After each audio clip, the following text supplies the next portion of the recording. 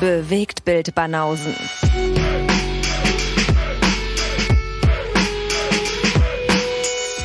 Filme, Kino und Serien, bis ihr kotzt. War sehr leise hier. Sehr leise hier, meine Kopfhörer. Ja, dann kannst du ja lauter stellen. Vielleicht sind das äh, auch die Nachwirkungen von meinem Wochenendjob. Ja? Kann natürlich auch sein, weil das jetzt Hast du mal bei, auf dem Rave aufgelegt, oder wie? kurz davor war. Nee, auf dem Rave habe ich nicht aufgelegt, aber es ist trotzdem laute Musik und so im Club. Laute Musik. Ja, aber lauter als sonst? Weil das ist ja sonst, irgendwie machst du das ja andauernd.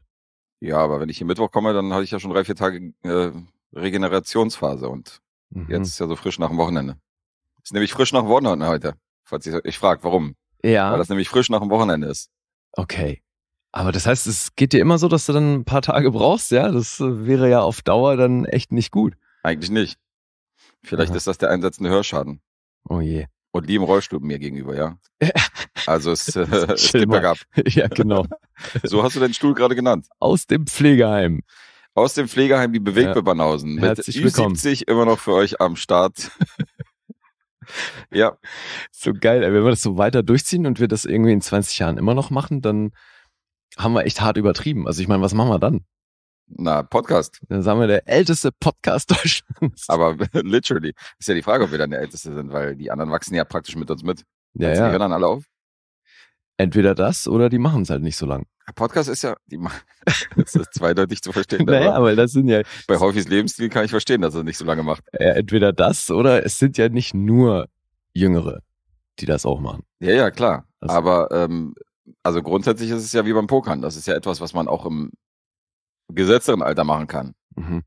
Also geil, ja jetzt- wie viel das Pokern muss für so viel herhalten bei dir. Das ist, ist für dich so oft irgendwie das Vergleichsding. Ist ja wie beim Pokern. Naja, aber Podcasten ist doch jetzt keine, ist doch, du, ist doch, du bist jetzt kein Profi-Tennisspieler, wo du jetzt sagst, ja, irgendwann muss man mal aufhören oder ein bisschen kürzer treten. Ach so, meinst du, das ist körperlich überhaupt keine Beanspruchung?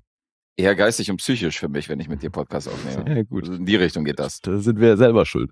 Ist jetzt, aber ähm, ich sehe es, du musst es so rum sehen, also das Gehirn wird ja dann auch immer wieder gefordert, indem man sich einer muss an irgendwelche Filme, an denen man Sachen über Filme analysieren muss, recherchieren, weißt du, das ist Ja. ja auch, ist ja auch Training, Total. mentales Training. Und so bleiben wir halt immer im, stell dir vor, wir wären hier so zwei ältere Herren, die überhaupt keine Freunde haben und die nur so für sich alleine mit sieben Katzen leben. Das wäre doch schlimmer. So hat man regelmäßig Konversation, verstehst du? Ja. Tauscht sich aus. Ich dachte, ich habe mir gerade vorgestellt, wie wir beide mit sieben Katzen zusammenleben würden. Aber du meinst dann jeder für sich halt. Jeder für sich. Ja, Mann. Ich meine, okay. dass wir so eine verbohrten Alten ohne soziale Kontakte sind, die einfach nur, wo das Highlight ist, dass sie kurz mal zum Fenster gucken für eine halbe Stunde. Ja. Nee, nee, klar ist, klar ist das besser. Ja. Also, logisch. Und so hört sogar noch jemand zu. Ja, und äh, genau, und wir bezeugen praktisch unsere, also wenn jetzt hier meine, dass ich mich an irgendwelche Schauspieler nicht erinnern kann, wenn das jetzt der Einsatz ist, äh, von wegen hier, äh, wenn das in die Vaterrichtung geht hier mit Anthony Hopkins, Mhm. dann hat man das protokolliert hier im Laufe des Podcasts. Stimmt. Dann kann man den Zerfall so ein bisschen dokumentieren. Richtig, das ist medizinisch vielleicht gar nicht mal schlecht, dass wir das alles hier auf Band haben. Na, ist jetzt die Frage, was das über mich aussagt, ne? Dann bin ich ja eigentlich auch schon so Alzheimer leid. Du bist, na, du bist, äh, das ist was anderes. Das ist ja kein Alzheimer, du bist ja äh, geboren als der Vater quasi. Ach so. Das war ja schon immer bei dir mit drin. Also, das ist ja einfach das Gedächtnis, das ist ja einfach nur Scheiße. Wie beim Golfen mit dem Handicap. Ich steig einfach schon ein bisschen Richtig, weiter ja. oben ein. Ja.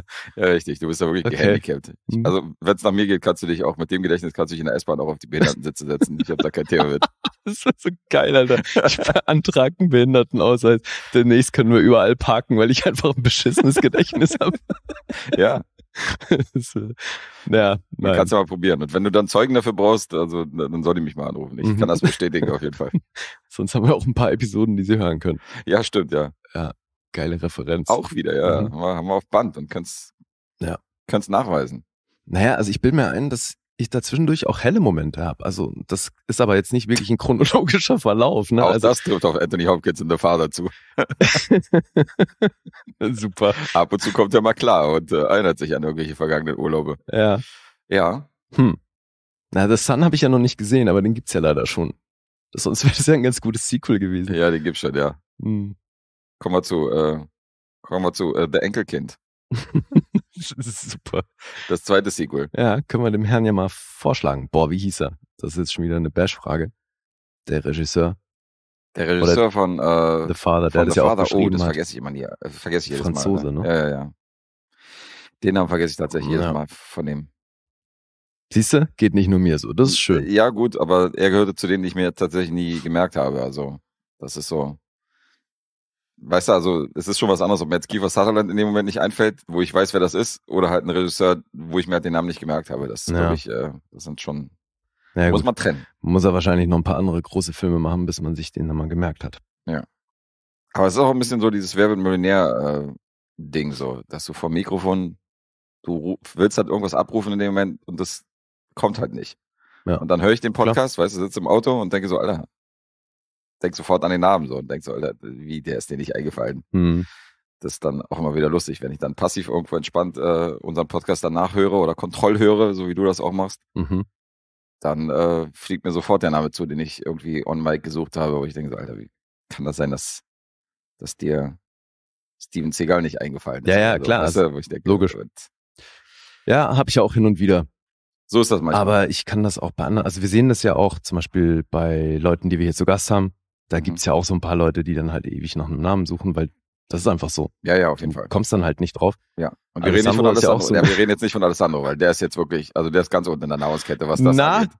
Ich fühle ich fühl mich da voll verbrüdert, ey. Nee, du bist da schon, also da bist bist ja ein Genie dagegen, Alter, was das Gedächtnis angeht. Alessandro, Nee, also ich habe mir das ange äh, zum Teil angeguckt, was ja unser Azubi war ja zu Gast bei Alessandro, müssen können wir vielleicht mal promoten, oder? ja, ich wollte gerade sagen, also das müssen wir auf jeden Fall promoten. Unser Zubi war sogar dreifach bei Alessandro. Mhm. Die haben irgendwie drei Episoden aufgenommen, äh, die anderen beiden kommen wohl noch.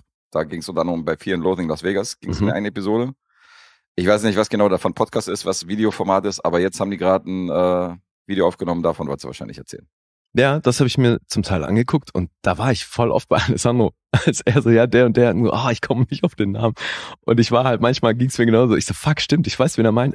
Ah, wie hieß der Typ? Ja, ja. So, und an, bei anderen Fällen dann sofort, ja klar, ist der und der. Dann hat er von Red Herring geredet und dachte aber an McGuffin, wo ich auch dachte, ja, okay, du meinst McGuffin, weißt du, dann muss man das auch mal so, so wie ich ähnlich, Ja, dass er irgendwas Okay. sagt, aber dann was anderes meint, so, wo ich dann sofort, okay, umschalte, was er dann in dem Moment meint. mhm. Und äh, du checkst ja im Moment auch nicht. Also ich höre das, das ist auch wieder so ein Ding, was ich beim Nachhören höre.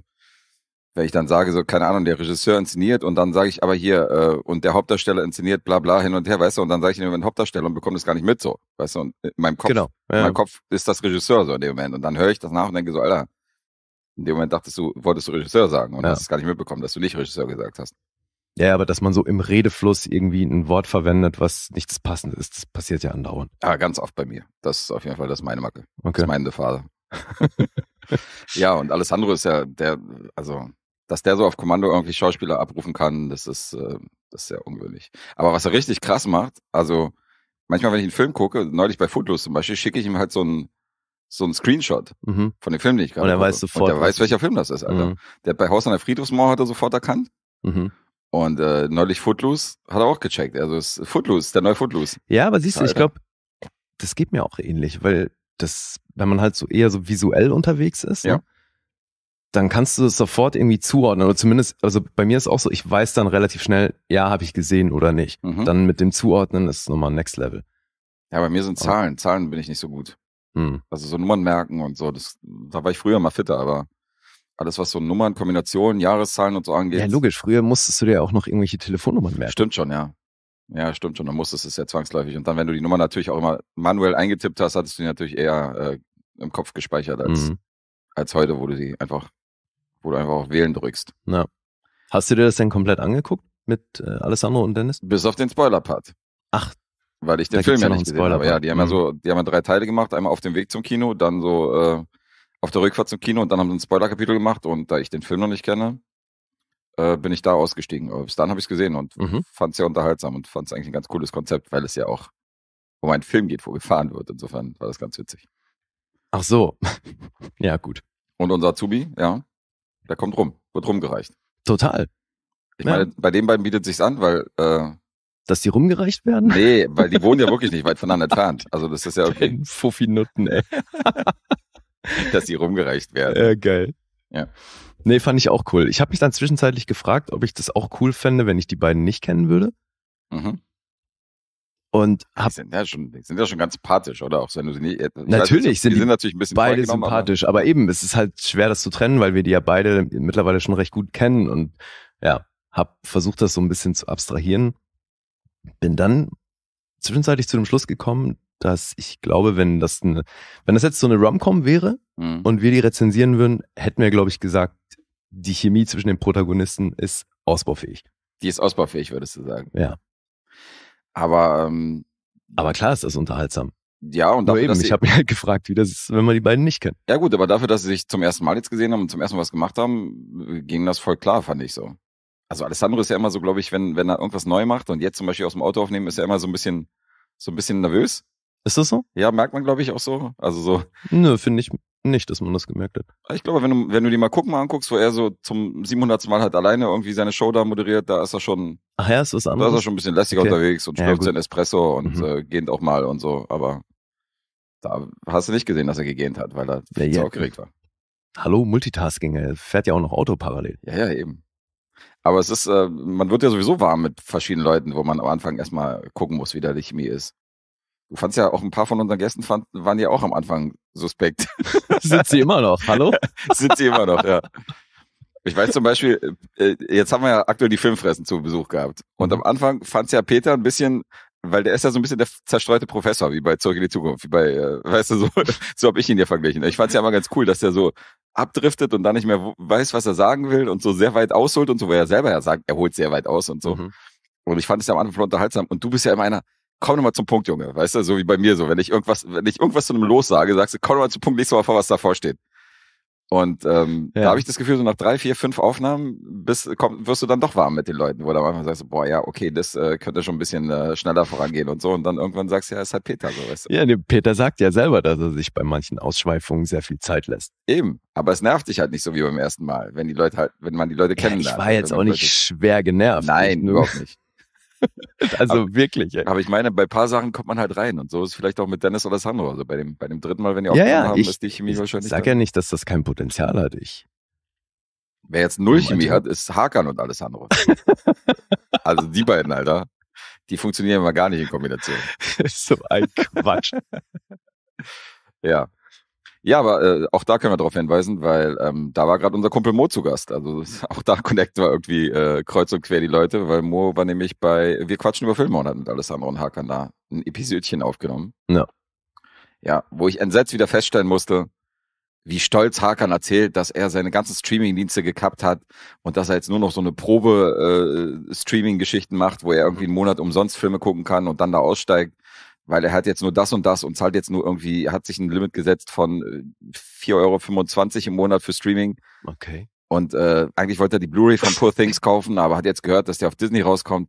Und ich denke mir nur so, Digga, Alter, du verdienst, äh, das ist jetzt vielleicht die falsche Formulierung, aber deine Leidenschaft ist Podcasten, du redest über Filme, du propagierst Filme, dann darfst du nicht stolz erzählen, dass du kein Geld für Streamingdienste ausgibst und dass du äh, eine Blu-ray nicht kaufen würdest, weil du die umsonst kriegst. Und du darfst dich auch nicht über Kinopreise beschweren oder über sonst was, weil man muss halt ein bisschen für seine Leidenschaft auch mal ein paar Euro springen lassen. Das, ähm, Ja. das fand ich irgendwie keine Ahnung. Ich würde das so nicht machen. Guck mal, der ist mehrfacher Familienvater. Der hat einen Job, Alter. Das Ja, ist, die ja. einzige Entschuldigung ist so wie Hoffi, als der arbeitslos war, dass er gesagt hat, ich kann mir nicht für 30 Euro irgendwie so eine Steelbox Blu-ray kaufen. Das, kann, Nee. das entschuldige ich. Na, Aber nicht, Alter, wenn du einen Job hast, Alter. Weißt du, was Kinder kosten, Digga? Dann mach keinen Podcast. ja. Da mach kein, mach halt keinen Podcast. Du kümmere dich um die Augen Kinder. auf bei der Berufswahl. Ist so. Selber schuld, wenn ihr Ist so, Podcast machen wollt. Ich will Dürfen das halt von den Kinder. Filmleidenschaften will ich nicht hören, von wegen so, ja, ich spare jetzt irgendwie, weil die Blu-ray für 9 Euro ist mir zu teuer. Das will Ja. ich einfach nicht hören, wenn einer Filmpodcast macht. Ja, siehst du, da habt ihr wieder den Beleg, dass wir hier irgendwie das meiste, was wir über Supporter reinnehmen, irgendwie versuchen, anderweitig wieder unter das Volk zu bringen. Also mit der Bereicherung wird das so nie was, ey. Ich habe diese scheiß Amazon-Channels gebucht für 3 Euro im Monat, Alter, seit zwei Jahren. Ich habe da keinen einzigen Film vorgesehen. Ja. Seit zwei Jahren. Gut, wegen das irgendeinem ist clever. irgendeinem Auftragsfilm. Das ist jetzt wieder wie der, der halt fürs Fitnessstudio jahrelang Ja, bezahlt okay. und nicht einmal hingeht. das ist jetzt die negative Variante. Aber äh, die gängigen Streaming-Dienste kann man sich schon mal zulegen, wenn man über Filme berichtet. Naja, klar. Und Amazon brauchen dringend Geld. Also Ja. auf jeden. Macht das mal. Keck, Alter.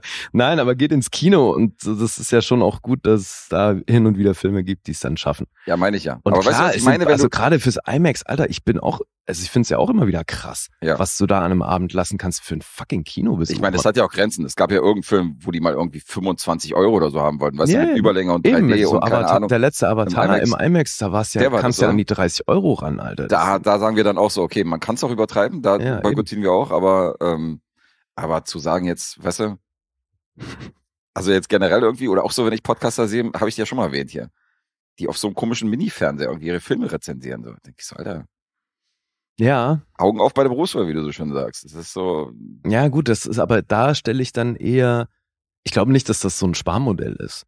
Das ist dann eher für mich eine Mentalitätsfrage. Also, ne, wie, inwiefern willst du diesem Film gerecht werden, indem du ihn halt möglichst im, in einem möglichst passenden Szenario konsumierst? mhm. Ja, und wenn das für manche Leute halt das iPhone ist, dann tun die mir leid, aber das ist dann soll ja auch jeder für sich entscheiden, da habe ich auch nichts dagegen. Aber auch hier wieder. Aber dann höre ich mir einen Podcast nicht an, Ja, weil dann dürft ja, ihr keine, Pod deine Filmpodcasts machen. Das ist schon, logisch. weil das sind, das ist dann wieder, also das sind dann für mich so zwei Paar Schuhe. Ob du das jetzt privat konsumierst, wie du willst, fein. Aber, aber als äh, jemand, der sich ans Mikrofon setzt und weißt und dann über diese Filme berichtet und erzählt, wie wie geil das Worldbuilding ist, aber seine oder wie schlecht das Worldbuilding ist, aber seine Filme auf dem iPhone guckt, Klar. da habe ich dann Ja, kein das ist absurd. Ich auch nicht. Ja.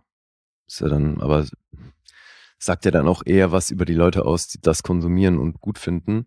mehr. Mhm. Also, weil das scheint dann ja da nicht mit reinzuspielen. Naja, da bin ich zu sehr Filmfan.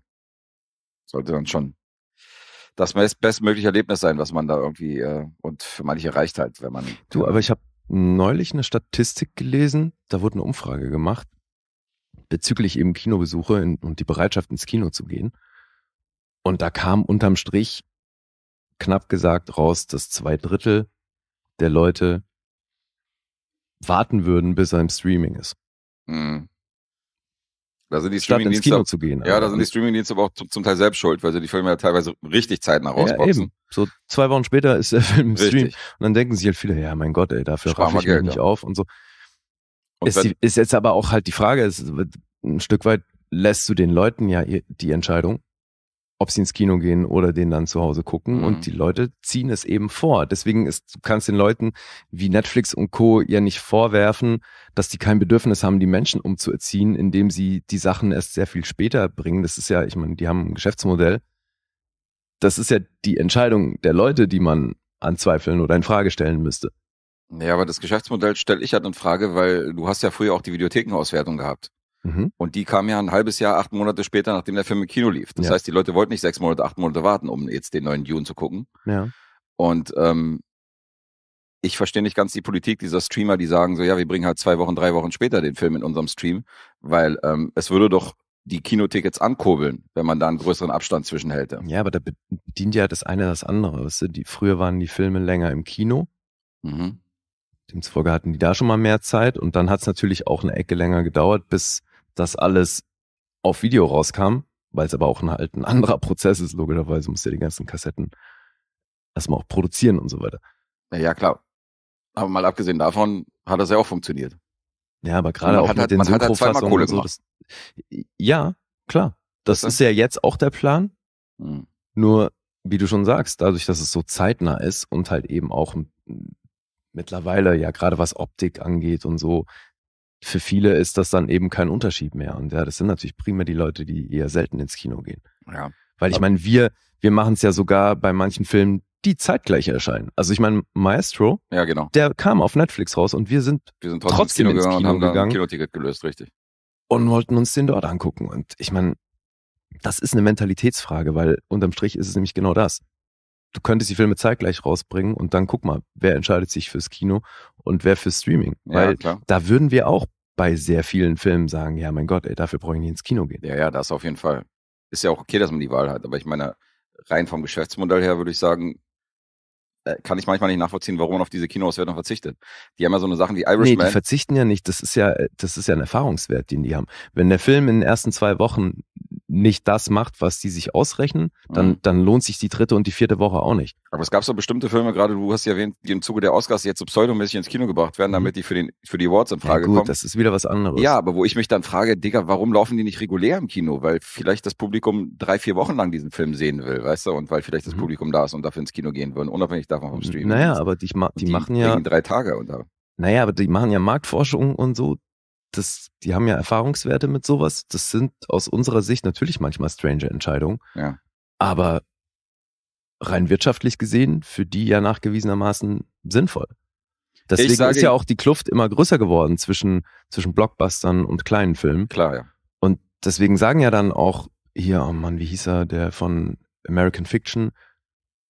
Corn, Dorn, irgendwas, fuck. Ich krieg seinen Namen nicht mehr zusammen. Aber der hat ja in seiner Corndon heißt der, glaube ich, nicht. Nein, Jefferson irgendwas, aber der Vorname, keine Ahnung. Mhm. Ist ja auch Latte. Da sind wir wieder, ganz am Anfang, Namen fallen einem nicht ein. Und der hat, das war aber auch sein Debüt, muss man schon auch zu unserer Verteidigung sagen. Ja, ja. Das war sein absolut erster Credit. Reden wir erstmal drei, vier Filme, dann merken wir uns davor nichts anderes gemacht. Aber der hat eben genau das gesagt in seiner Dankesrede. Namen. Mhm. Ey Leute, bevor ihr äh, einen 200 Millionen Film macht, macht halt irgendwie Macht 20, 10 Millionen. Ja, macht 20, 10 Millionen. Ja, fand ich auch cool und sympathisch. Und das ist halt, dieses Segment ist halt nahezu ausgestorben in, in der Budgetgrößenordnung und das, deswegen ist es halt eine wirtschaftliche Entscheidung, nur noch. Mhm. Leider nur noch, ja. Weil Ich früher es ja haben ja viele, jeder, ich würde es ja geil finden, wenn jeder Film im Kino lief. ja natürlich, und früher haben ja auch Studios, da war ja primär das geplant, vor Video und so, konntest ja auch gar nicht groß anders. Und da haben Studios ja auch schon genau so kalkuliert. Da gab's halt diese, diese ähm, Flagpole-Projekte, wo es hieß, okay, mit denen müssen wir unsere Kohle machen. Mhm. Und dann haben wir aber eben auch ein großes Segment von Filmen, wo wir, wo es okay ist, wenn die gerade mal das einspielen, was sie gekostet haben, weil das eben dann für Liebhaber oder für die Kunst und sonst was ist. Mhm. Oder weil es eben auch so ein Überraschungshit werden könnte, wie es ja dann auch oft war. Aber dieses äh, Risiko, das wurde halt immer mehr minimiert und jetzt sind wir halt da gelandet, dass es ein 200 Millionen Film ist, der muss funktionieren und sonst haben sie gleich ein Riesenproblem. Ja, klar. Und äh, ansonsten gibt's halt kleine Arthouse-Filme. Die haben sich da selber ein bisschen Druck gemacht. Komödien sind ja komplett irgendwie ausgestorben im Kino. Ja. Ganzes Genre irgendwie begraben. Das, Das funktioniert ja nur noch- besonders hart. Funktioniert ja, ja, funktioniert ja nur noch über Streaming. Mhm. Also hat sich schon, hat sich schon ein bisschen was entwickelt, aber gucken wir Ja. mal, wie das mit der Kinozukunft aussieht. Ja, aber umso geiler finde ich, dass, dass die Leute, die uns hören, also die meisten, die uns so Feedback geben, da kriegen wir ja schon auch mit, die teilen diese Leidenschaft, die gehen auch gerne ins Kino Ja. und bei den entsprechenden Filmen lässt sich das auch dann kaum jemand nehmen, eben den im Kino zu sehen. Und ähm, ja, für euch machen wir das. Genau. Und die sind ja teilweise auch angeregt, Filme, die wir hier rezensieren, außerhalb äh, vom Kino, irgendwelche älteren Sachen. Ähm, also hier unser Kumpel Snake hat sich dann extra Sleep Tight angeguckt, weißt du, nachdem er unsere Rezension gehört hat, damit er Ach, sich das mhm. Spoiler-Kapitel auch anhören kann und so eine Sachen. Und äh, Fabs ist auch einer, der sich meistens dann erstmal so, also so Rezensionen gibt und sich dann die Filme anguckt, extra dann so frisch, um Ja. sich dann die Rezension anzuhören und so eine Sachen. Also geil. macht ja Dennis auch, glaube ich, hat er gesagt. Mhm. Ist schon interessant. Ja, voll gut. Dabei versuchen wir eigentlich die Rezension so, so zu gestalten, dass ihr nicht zwangsläufig die Filme gesehen haben müsst. Nö, aber ich meine, so ist uns das wahrscheinlich am liebsten. Also wenn, Das wenn ihr super, ja. so mitmacht, dass ihr das gleich auch alles sehen wollt. Das ist ja auch der Grund, warum wir die Auftragsfilme ankündigen. Und äh, was sind Auftragsfilme? Das sind äh, Filme, die ihr euch bei Patreon und Steady wünschen könnt, wenn ihr da nämlich die äh, Bannhausen finanziell unterstützt monatlich.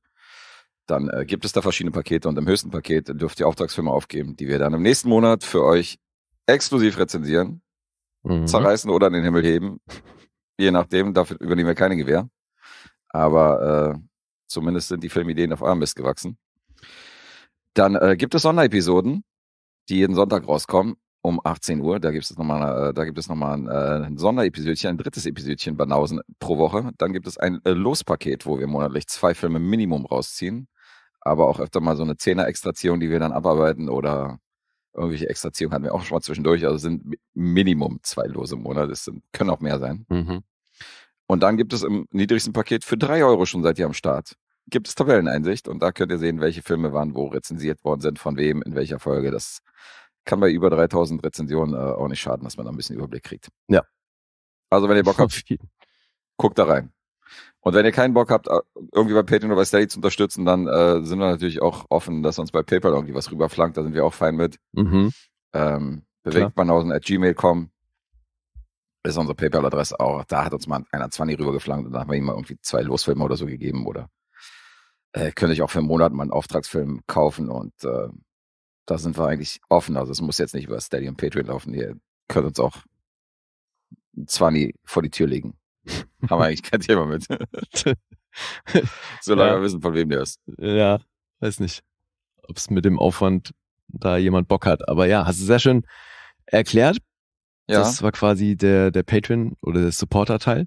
ja, müssen wir mal ab und zu mal hier aufrufen. Und äh, diese Auftragsfilme lesen wir auch in der letzten Episode des Monats immer vor, was jetzt im nächsten Monat kommt. Mhm.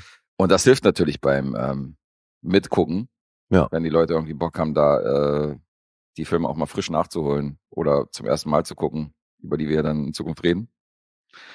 Und zwei aus der Liste haben wir diesen Monat, äh, haben wir jetzt in dieser Folge auf jeden Fall am Start. Natürlich.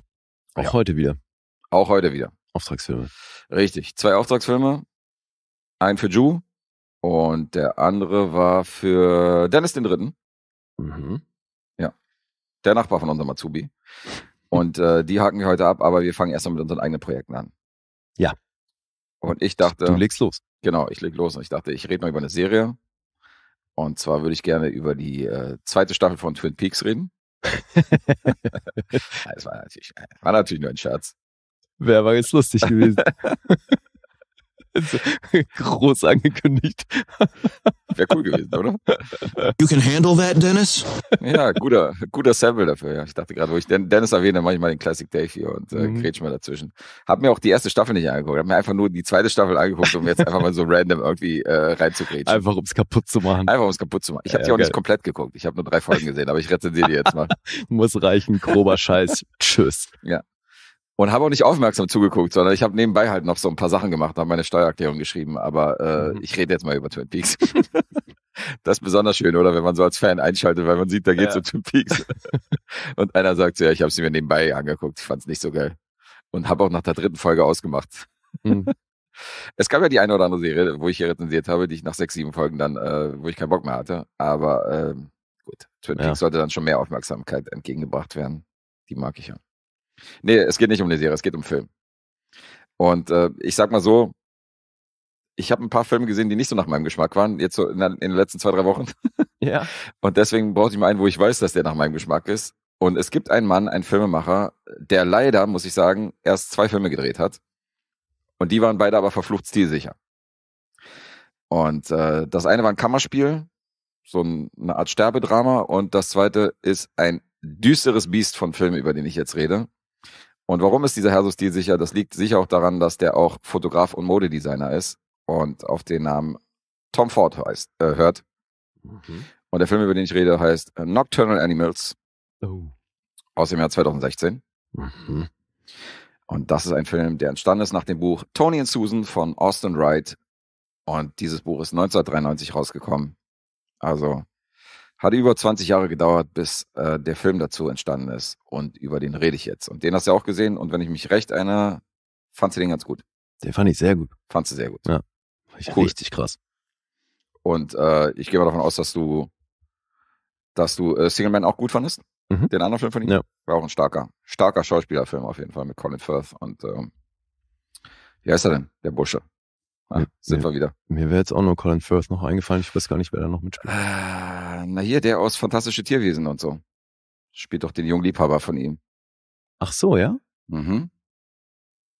Alter, das gibt's doch nicht. Nein, Oh, wow. dir fällt's auch nicht ein. Ja, ich habe die Fresse so krass vor mir gerade. Ja, ja, klar, hier. Darf doch nicht ähm, wahr sein. äh, Danish Girl und so. Danish Girl, ja, der hat doch hier, ähm, jetzt fällt mir nicht mal der Typ an, der im Rollstuhl sitzt, Alter, den er gespielt hat. Was ist denn jetzt los? Wir nehmen nicht mehr nach dem Wochenende auf. What's up, Dennis? Äh, Das ist das letzte Mal, dass wir an einem Montag aufnehmen, Alter. okay, wow. Aber du weißt schon, Ja, Mann, das gibt's der ja mit nicht. dem Sprechgerät. Ja, der mit dem Sprechgerät. Okay, es, äh, das ist wirklich peinlich, Alter, dass mir beide jetzt nicht einfallen. Weder der Schauspieler noch irgendwie So, den Charakter. ähm, der. Hawking Stephen Hawking, Mann, ey. Danke. Und er hieß, ich komme noch drauf. Ich brauche bei sowas Ach, du googelst nicht? Nee, nee, Okay, alles klar.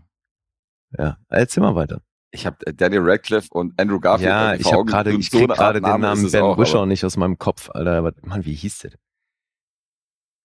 Unfassbar. Erzähl mal weiter. Gut, ich erzähl mal weiter. Äh, also Tom Ford lässt uns direkt mit der Anfangsszene sehr unwohl im Sitz rumrutschen, weil wir sehen, der Film steigt ein mit so einer Kunstvorführung mit recht mehrgewichtigen älteren Damen, die nackt so in Zirkusuniform auf Podesten tanzen. Du bist auch Und- nackt in Zirkusuniform. Naja, die haben halt, die sind halt nackt. Du siehst die Brüste, du siehst halt alles, was dazugehört, aber die haben halt Mhm. trotzdem irgendwie so, ein, so einen kleinen Blazer an und irgendwie eine Mütze. Ist man nicht nackt, wenn man eine Mütze aufhat? Willst du jetzt bei der Grundsatzdiskussion direkt einsteigen? genau, machen wir es mal kompliziert. Ja. Nee, Man ich sieht hab's schön ja den Busch, man sieht weiß, die Brüste, aber äh, man ist nicht nackt, weil man hat eine Zirkusmütze auf Okay. und einen Blazer. Junge, Alter. Und wenn du weißt, wie groß diese Damen sind, dann äh, weißt du auch, dass der Blazer relativ verschwindende Klar. Fläche einnimmt von diesem, von diesem Körper. Definitiv. Und ich weiß noch, ich saß mit einer Freundin im Kino, mit der ich damals diesen Film gesehen habe, und das war schon unangenehm. Und da haben wir uns schon angeguckt und dachten so, okay, was ist das für ein Film? Und dieses Unwohlsein hält er halt durch den ganzen Film aufrecht. Das hat Tom Ford schon richtig gut gemacht. Dazu muss man sagen, der Typ lichtet normalerweise Victoria's Secret Models ab. Und der steigt hier mit so einer Szene ein, weißt du, wo alles andere zu sehen ist als ein Victoria's Secret Model. Mhm. Und äh, diese Kunstausstellung wird geleitet, beziehungsweise diejenige, die da das Sagen hat und ähm, auf deren Mist das gewachsen ist, ist unsere Hauptfigur und die heißt Susan Morrow. Und Susan Morrow wird gespielt von Amy Adams. Die ist, wie gesagt, Galeristin, die ist sehr vermögend, trägt schicke Kleider, hat ein super fancy Haus, aber ihre Ehe ist äh, ziemlich erkaltet. Und äh, der Ehemann wird gespielt von Army Hammer. Hier noch aktiv.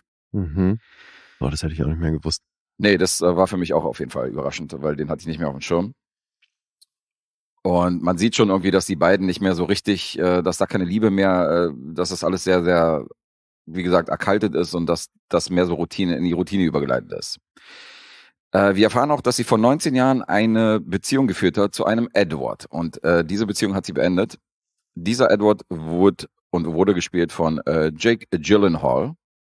Und äh, sie hat das damals begründet, weil sie gesagt hat, der Typ ist Schriftsteller, aber der war ja nicht ambitioniert genug, hat halt irgendwie nichts auf die Reihe gekriegt und ähm, hat halt immer nur geredet, dass er irgendwelche Bücher schreibt, hat aber nie Bücher geschrieben.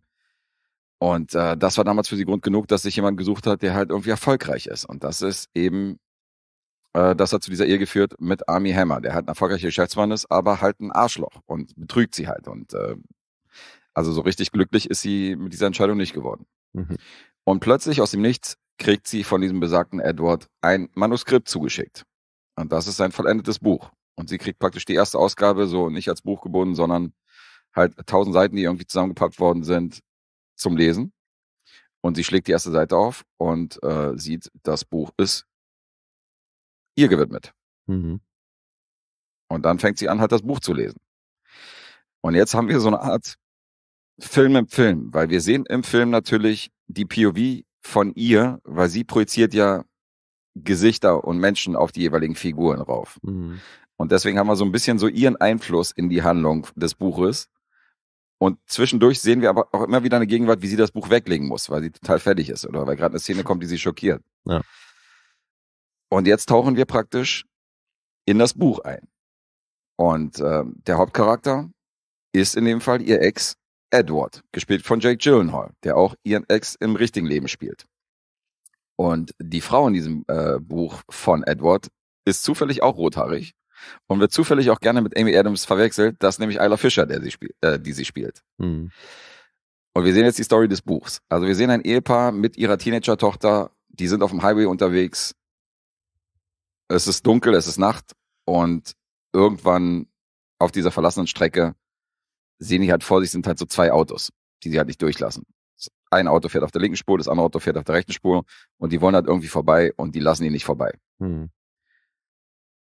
Und die wollen irgendwie, keine Ahnung, äh, er hupt irgendwie und äh, gibt irgendwie Lichthupe und versucht zu signalisieren, dass sie vorbeifahren wollen. Und die denken aber nicht dran. Irgendwann schlängeln die sich dann vorbei und dann nehmen die anderen Autos die Verfolgung auf. Also es ist irgendwie eine sehr unangenehme Situation. Und irgendwann werden die gerammt von dem Auto. Und das endet damit, dass die mit einem Platten dann am Straßenrand stranden. Und diese beiden Autos bleiben dann stehen.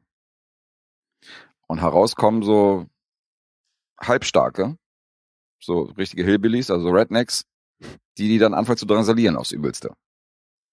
Mhm. Und die sagen so, ja, wir wollen hier keinen Stress haben und so, wir äh, fixen einen Reifen. Aber es ist alles so, weißt du, die sitzen halt im Auto, die Tochter kriegt halt Panik und so und das ist eine wirklich sehr unangenehme Situation, das ist auch richtig krass inszeniert. Und dann fixen die halt den Reifen und sagen aber, ja, wir müssen aber trotzdem den Unfall melden. So. Also wir müssen jetzt zur nächsten Polizeidienststelle und äh, müssen den Unfall melden. Die sagen, alles klar, wir fahren euch hinterher. Und dann sagen die so, nee, nee, so läuft das nicht. Die fährt uns nicht hinterher, weil die fährt davon oder sonst was, sondern ähm, du fährst bei uns im Auto mit. Mhm. Da sagt er, nee, das mache ich nicht.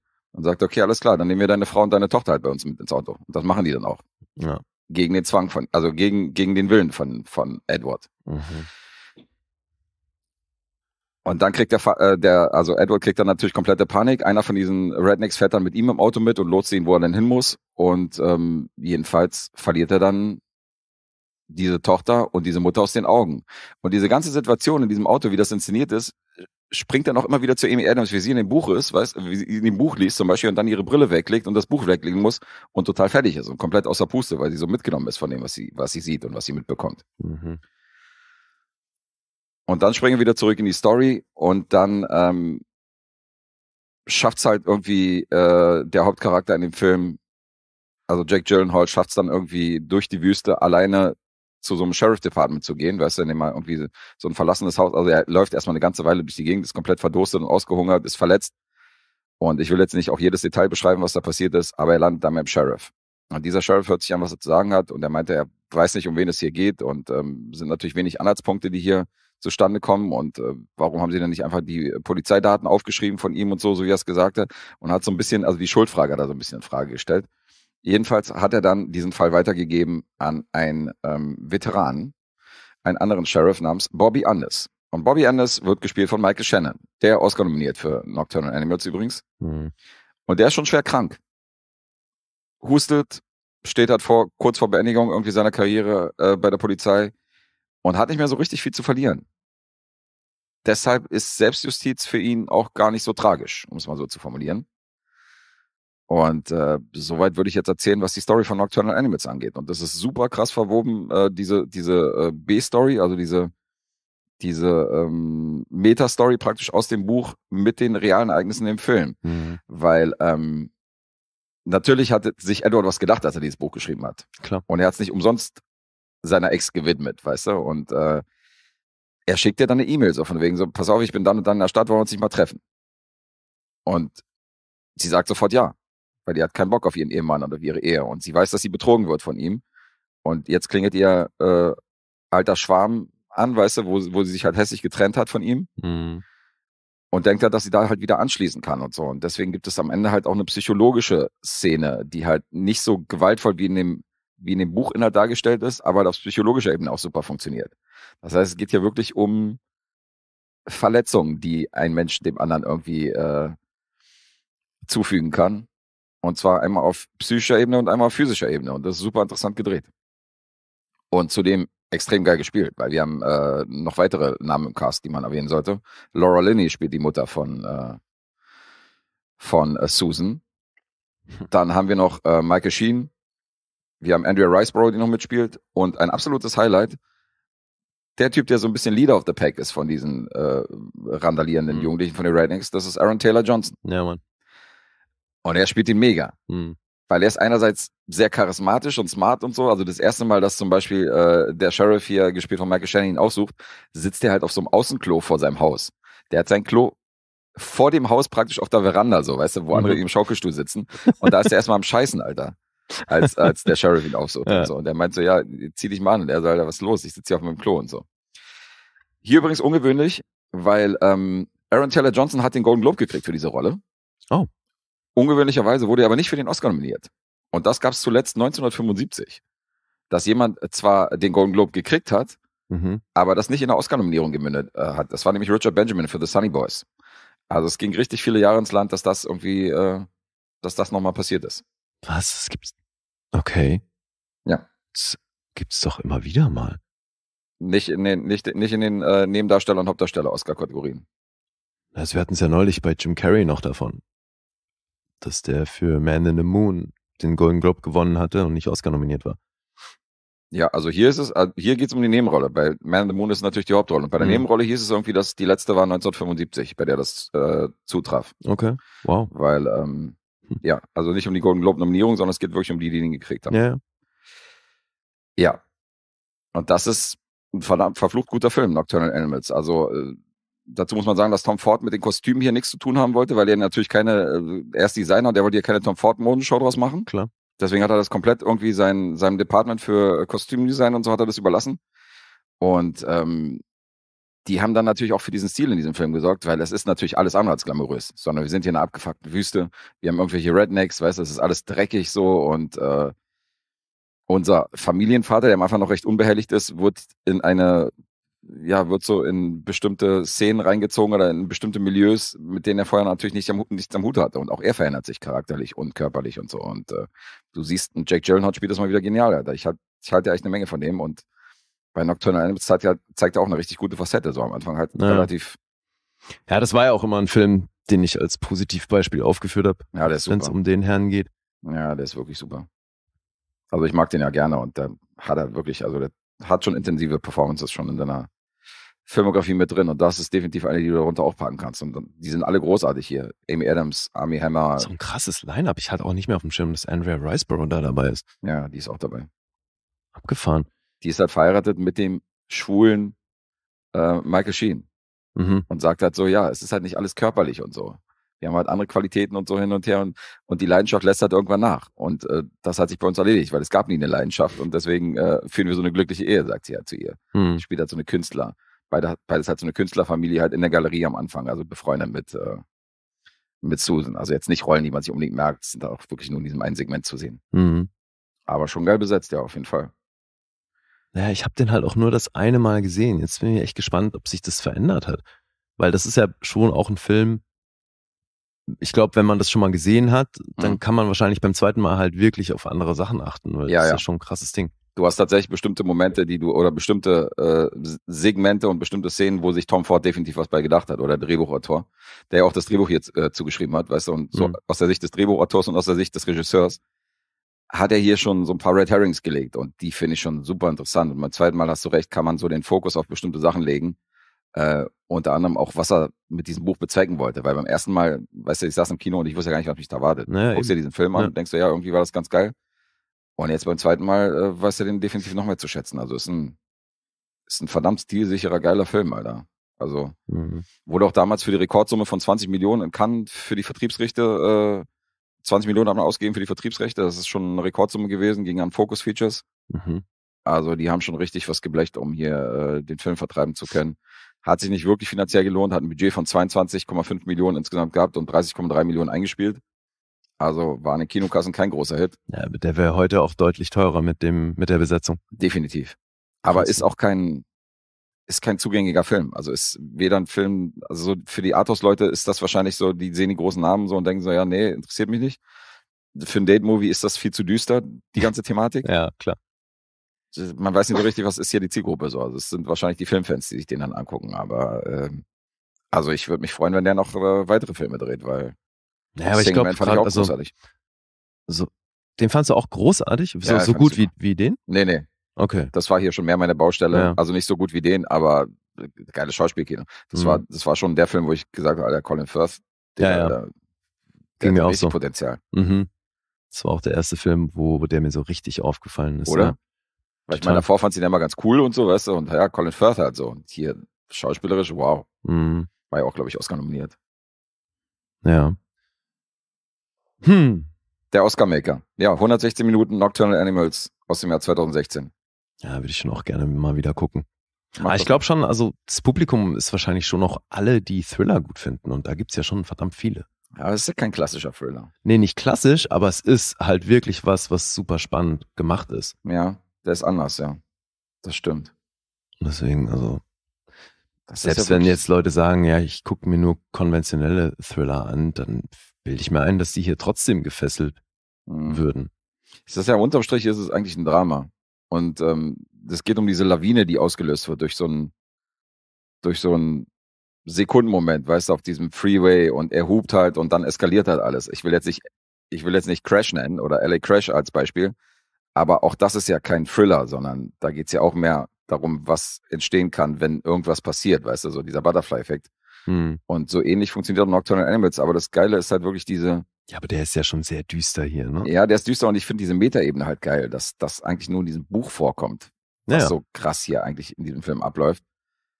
Aber du siehst, dass sie richtig mitgenommen wird durch die Story, so wie der Zuschauer ja auch mitgenommen wird durch Mhm. die Story, obwohl er weiß, das ist alles fiktiv und das ist, äh, Ja, deswegen ist, ist das auch ein schönes Stilmittel, ne? Weil das ja Voll, ja. ein Film im Grunde ja das Gleiche mit dir macht. So, der, also der Film zeigt dir, was passiert, aber das, was es bei dir auslöst, machst du halt im Kopf. mh, Und das ist ja mit einem Buch nicht anders. mh. Deswegen, ja, es ist natürlich schon geil. Hat halt hier so eine zusätzliche Ebene. Aber muss dann doch staunen, dass der nicht so doll, also nicht so mega wegkommt jetzt in der Bubble. Also viele haben den gesehen, aber Echt jetzt? da ist der überall so bei dreieinhalb und so. Ich denke, das wird dem Film nicht gerecht. Also der ist viel besser als das. ja. Ja. Krass. Jo, das Nocturnal Animals und ähm, ich komme zu den Punkten. IMDb 7,5, Metascore 67. Ist auch nicht so stark, wie ich jetzt äh, mir gewünscht hätte und Letterboxd bei einer 3,7. Mhm. Boah, das ist jetzt super schwierig. Jetzt geht die Radrunde los. Ja, weil das kann jetzt mal wieder alles zwischen 8 und 10 sein. Wobei, nee, also für 8 klangst du nur wirklich zu begeistert. Schließt aus, ja. Ja, schon. Pass auf, ich sag 10. 9,5. Oh, fuck. Ja, okay. Es ist dazwischen, also du warst in der richtigen Range, aber Mhm. das ist jetzt eins von diesen Beispielen. Der kriegt bei Letterboxd natürlich eine 5-Sterne-Bewertung. Ach, okay. Mhm. Aber hier mit unseren feinen äh, 0,5 Nuancen ist es eine 9,5 geworden. Mhm, mhm, mhm. Ja. Ja, ich hab Bock, den mal wieder zu sehen. Mach das mal. Ja, ist natürlich, das ist das, wie ich gesagt habe. Also ich habe halt so zwei, drei Filme gesehen, die ich nicht so geil fand und dann ähm, zu einem komme ich auch später noch. Und ähm, da habe ich irgendwas gebraucht, wo ich weiß, dass ich den schon gesehen habe und ich weiß, dass ich den mag. Insofern äh, Mhm. Hatte ich schon, hatte ich schon Bock, den mal zu rewatchen. Also aus der Erinnerung wäre ich auch bei 9 mindestens. freut mich. Aber muss ich nochmal gucken. Ja, ja, freut mich aber, dass du den auch äh, mochtest damals. Ist ja auch echt gutes Schauspielkino. Ja, ja. Coolio. Hat ja Amy Adams auch was für ein, Alter, was für ein Lauf, weil das war das gleiche Jahr wie Arrival. Also die haben Arrival und Nocturnal Animals in einem Jahr äh, Kino Stimmt, gebracht. 2015, ne? Mhm, Ja. 16. 16, Mhm. okay. Ganz schön krass. Mhm. Kann man schon mal machen für Tom Ford und für Villeneuve irgendwie vor der Kamera stehen. Alright. Jetzt du. Ja. Aktueller Film namens Argyle. Aha, okay. Aha. Noch was von meiner Wunschliste. Wirklich? Ich finde es übrigens, äh, im Nachhinein finde ich es richtig mies, dass du äh, Nimona rezensiert hast und mir nicht Bescheid gesagt hast. Wie, Weil ich dachte, wir hätten, äh, ich dachte, wir hätten eine Vereinbarung hier bezüglich Lostopf, dass du, wenn du Filme rezensierst, die im Lostopf sind, dass du mir die Chance gibst, da mitzugucken. Aber hast Der- du einfach, hast du einfach drauf geschissen Ah. und hast, hast dir Nimona Der war im Lostopf? Ja. Ich habe es auch nicht mehr auf dem Schirm gehabt, aber Atombaum hat uns dran erinnert, dass äh, Okay. er den Lostopf geschmissen hat. Aber und jetzt machst du bei Argel schon wieder. Ja, aber der ist doch nicht im Lostopf. Naja, gut, der ist nicht im Lostopf. Ich wollte bluffen. Mhm. Super. Ja, entschuldige, Atombaum, dass wir dich nicht erwähnt haben. Schönen Gruß äh, dahin. Ja, Gibt keinen Ersatzfilm, aber ich hoffe, du hast dich gefreut. Kam ja gut weg. ja. Aber hallo. So, Argel jetzt. Ja, mal gucken, ob das mit dem hier auch der Fall ist. Mhm. Also du hast ja wahrscheinlich auch schon ein bisschen was drüber gehört. Ja. Und Ich, der Dua Lipas Filmografie vervollständigt, äh, natürlich. weiß natürlich, dass das Ding gibt. Ja, wir haben den Trailer im Kino gesehen. Mhm. Und also, was auf jeden Fall passt, ist, dass dieser Film von Matthew Vaughn ist, weil ich finde schon im Trailer trägt das sehr seine Handschrift, weil er es ja schon irgendwie geschafft hat, mit der Kingsman-Reihe Action auf eine Art zu inszenieren, die dann doch, mh, naja, man erkennt es eben sofort. Mhm. Schon eine gewisse Handschrift. Und da passt Argyle eigentlich schon auch mit rein. Ähm, so ein bisschen verwirrend finde ich, dass hier auch Leute beteiligt sind, die man aus dem Kingsman-Universum kennt. Dann gibt's ja auch noch den ein oder anderen Hinweis drauf und das ist aber nicht das gleiche Universum und das wusste ich aber nicht, bevor ich das recherchiert habe und das hat Okay. an der einen oder anderen Stelle so ein bisschen für Verwirrung gesorgt. Gute Brücke von Colin Firth gerade und äh, Tom Ford, dass du jetzt hier noch die Kingsman-Reihe erwähnst. Ja. Ja, Colin Firth ist nicht dabei. Mhm. Erstmal noch kurz zu, zu den Machern. Matthew Vaughn hat diesen Film produziert zusammen mit Claudia Vaughn. Also es sind natürlich auch noch ein paar andere Produzenten gelistet, aber Claudia Schiffer heißt mittlerweile Claudia Vaughn. Ich kann mich noch erinnern, bei den Kingsman-Filmen war die ja noch als Claudia Schiffer. Hat sie seinen Namen? Ja, das habe ich auch noch nicht gehört, dass sie seinen Ja. Nachnamen angenommen hat. Okay, Mhm. interessant. Die Claudia. Ja, und geschrieben hat das Ganze Jason Fuchs. Oder keine Ahnung, wie man Fuchs ist dann Fuchs wahrscheinlich. Fuchs, wie bei Arrested Development. Stimmt. Ja, und er hat das alleine geschrieben, elf Credits. Pan hat er auch geschrieben, hier diese neue Adaption und Wonder Woman stand von dem. Und der hat tatsächlich 28 Schauspiel-Credits. Also man kennt den schon auch vor der Kamera. Mhm. Ja, und von dem stammt Argyle. Und im Oktober 23 hat Matthew Vaughn angekündigt, dass der mit seinen Marv Studios jetzt hier so ein, so ein eigenes Spionage-Universum aufmachen will, was dann aber auch schon miteinander verbunden sein soll. Also da sollen eben die Kingsman-Filme mit reinzählen und die Argyle-Filme Mhm. und noch eine bisher umbenannte dritte Reihe.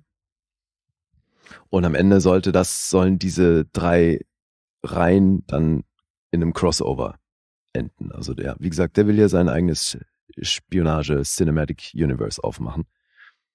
Und da eben jetzt hier die zweite, hat er halt das zweite Fass aufgemacht. Deswegen, also es soll schon irgendwann eine Verbindung geben. Ich finde es dann nur halt unglücklich, weil du hier eben Leute hast, die man in Kingsman-Teilen gesehen hat, die hier aber halt eine andere Rolle spielen. Deswegen finde ich das mit der Verbindung dann halt so ein bisschen verwirrend.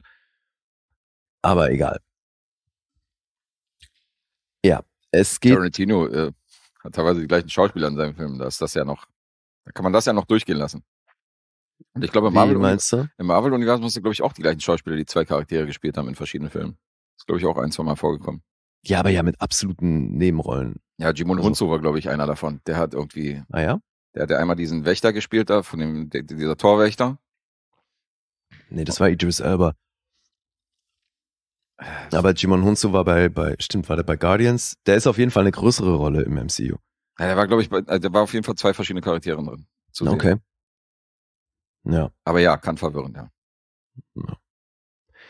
Gut, jetzt geht's hier bei Argyle um eine Autorin namens Ellie Conway. Das ist unsere Hauptfigur, gespielt von Bryce Dallas Howard.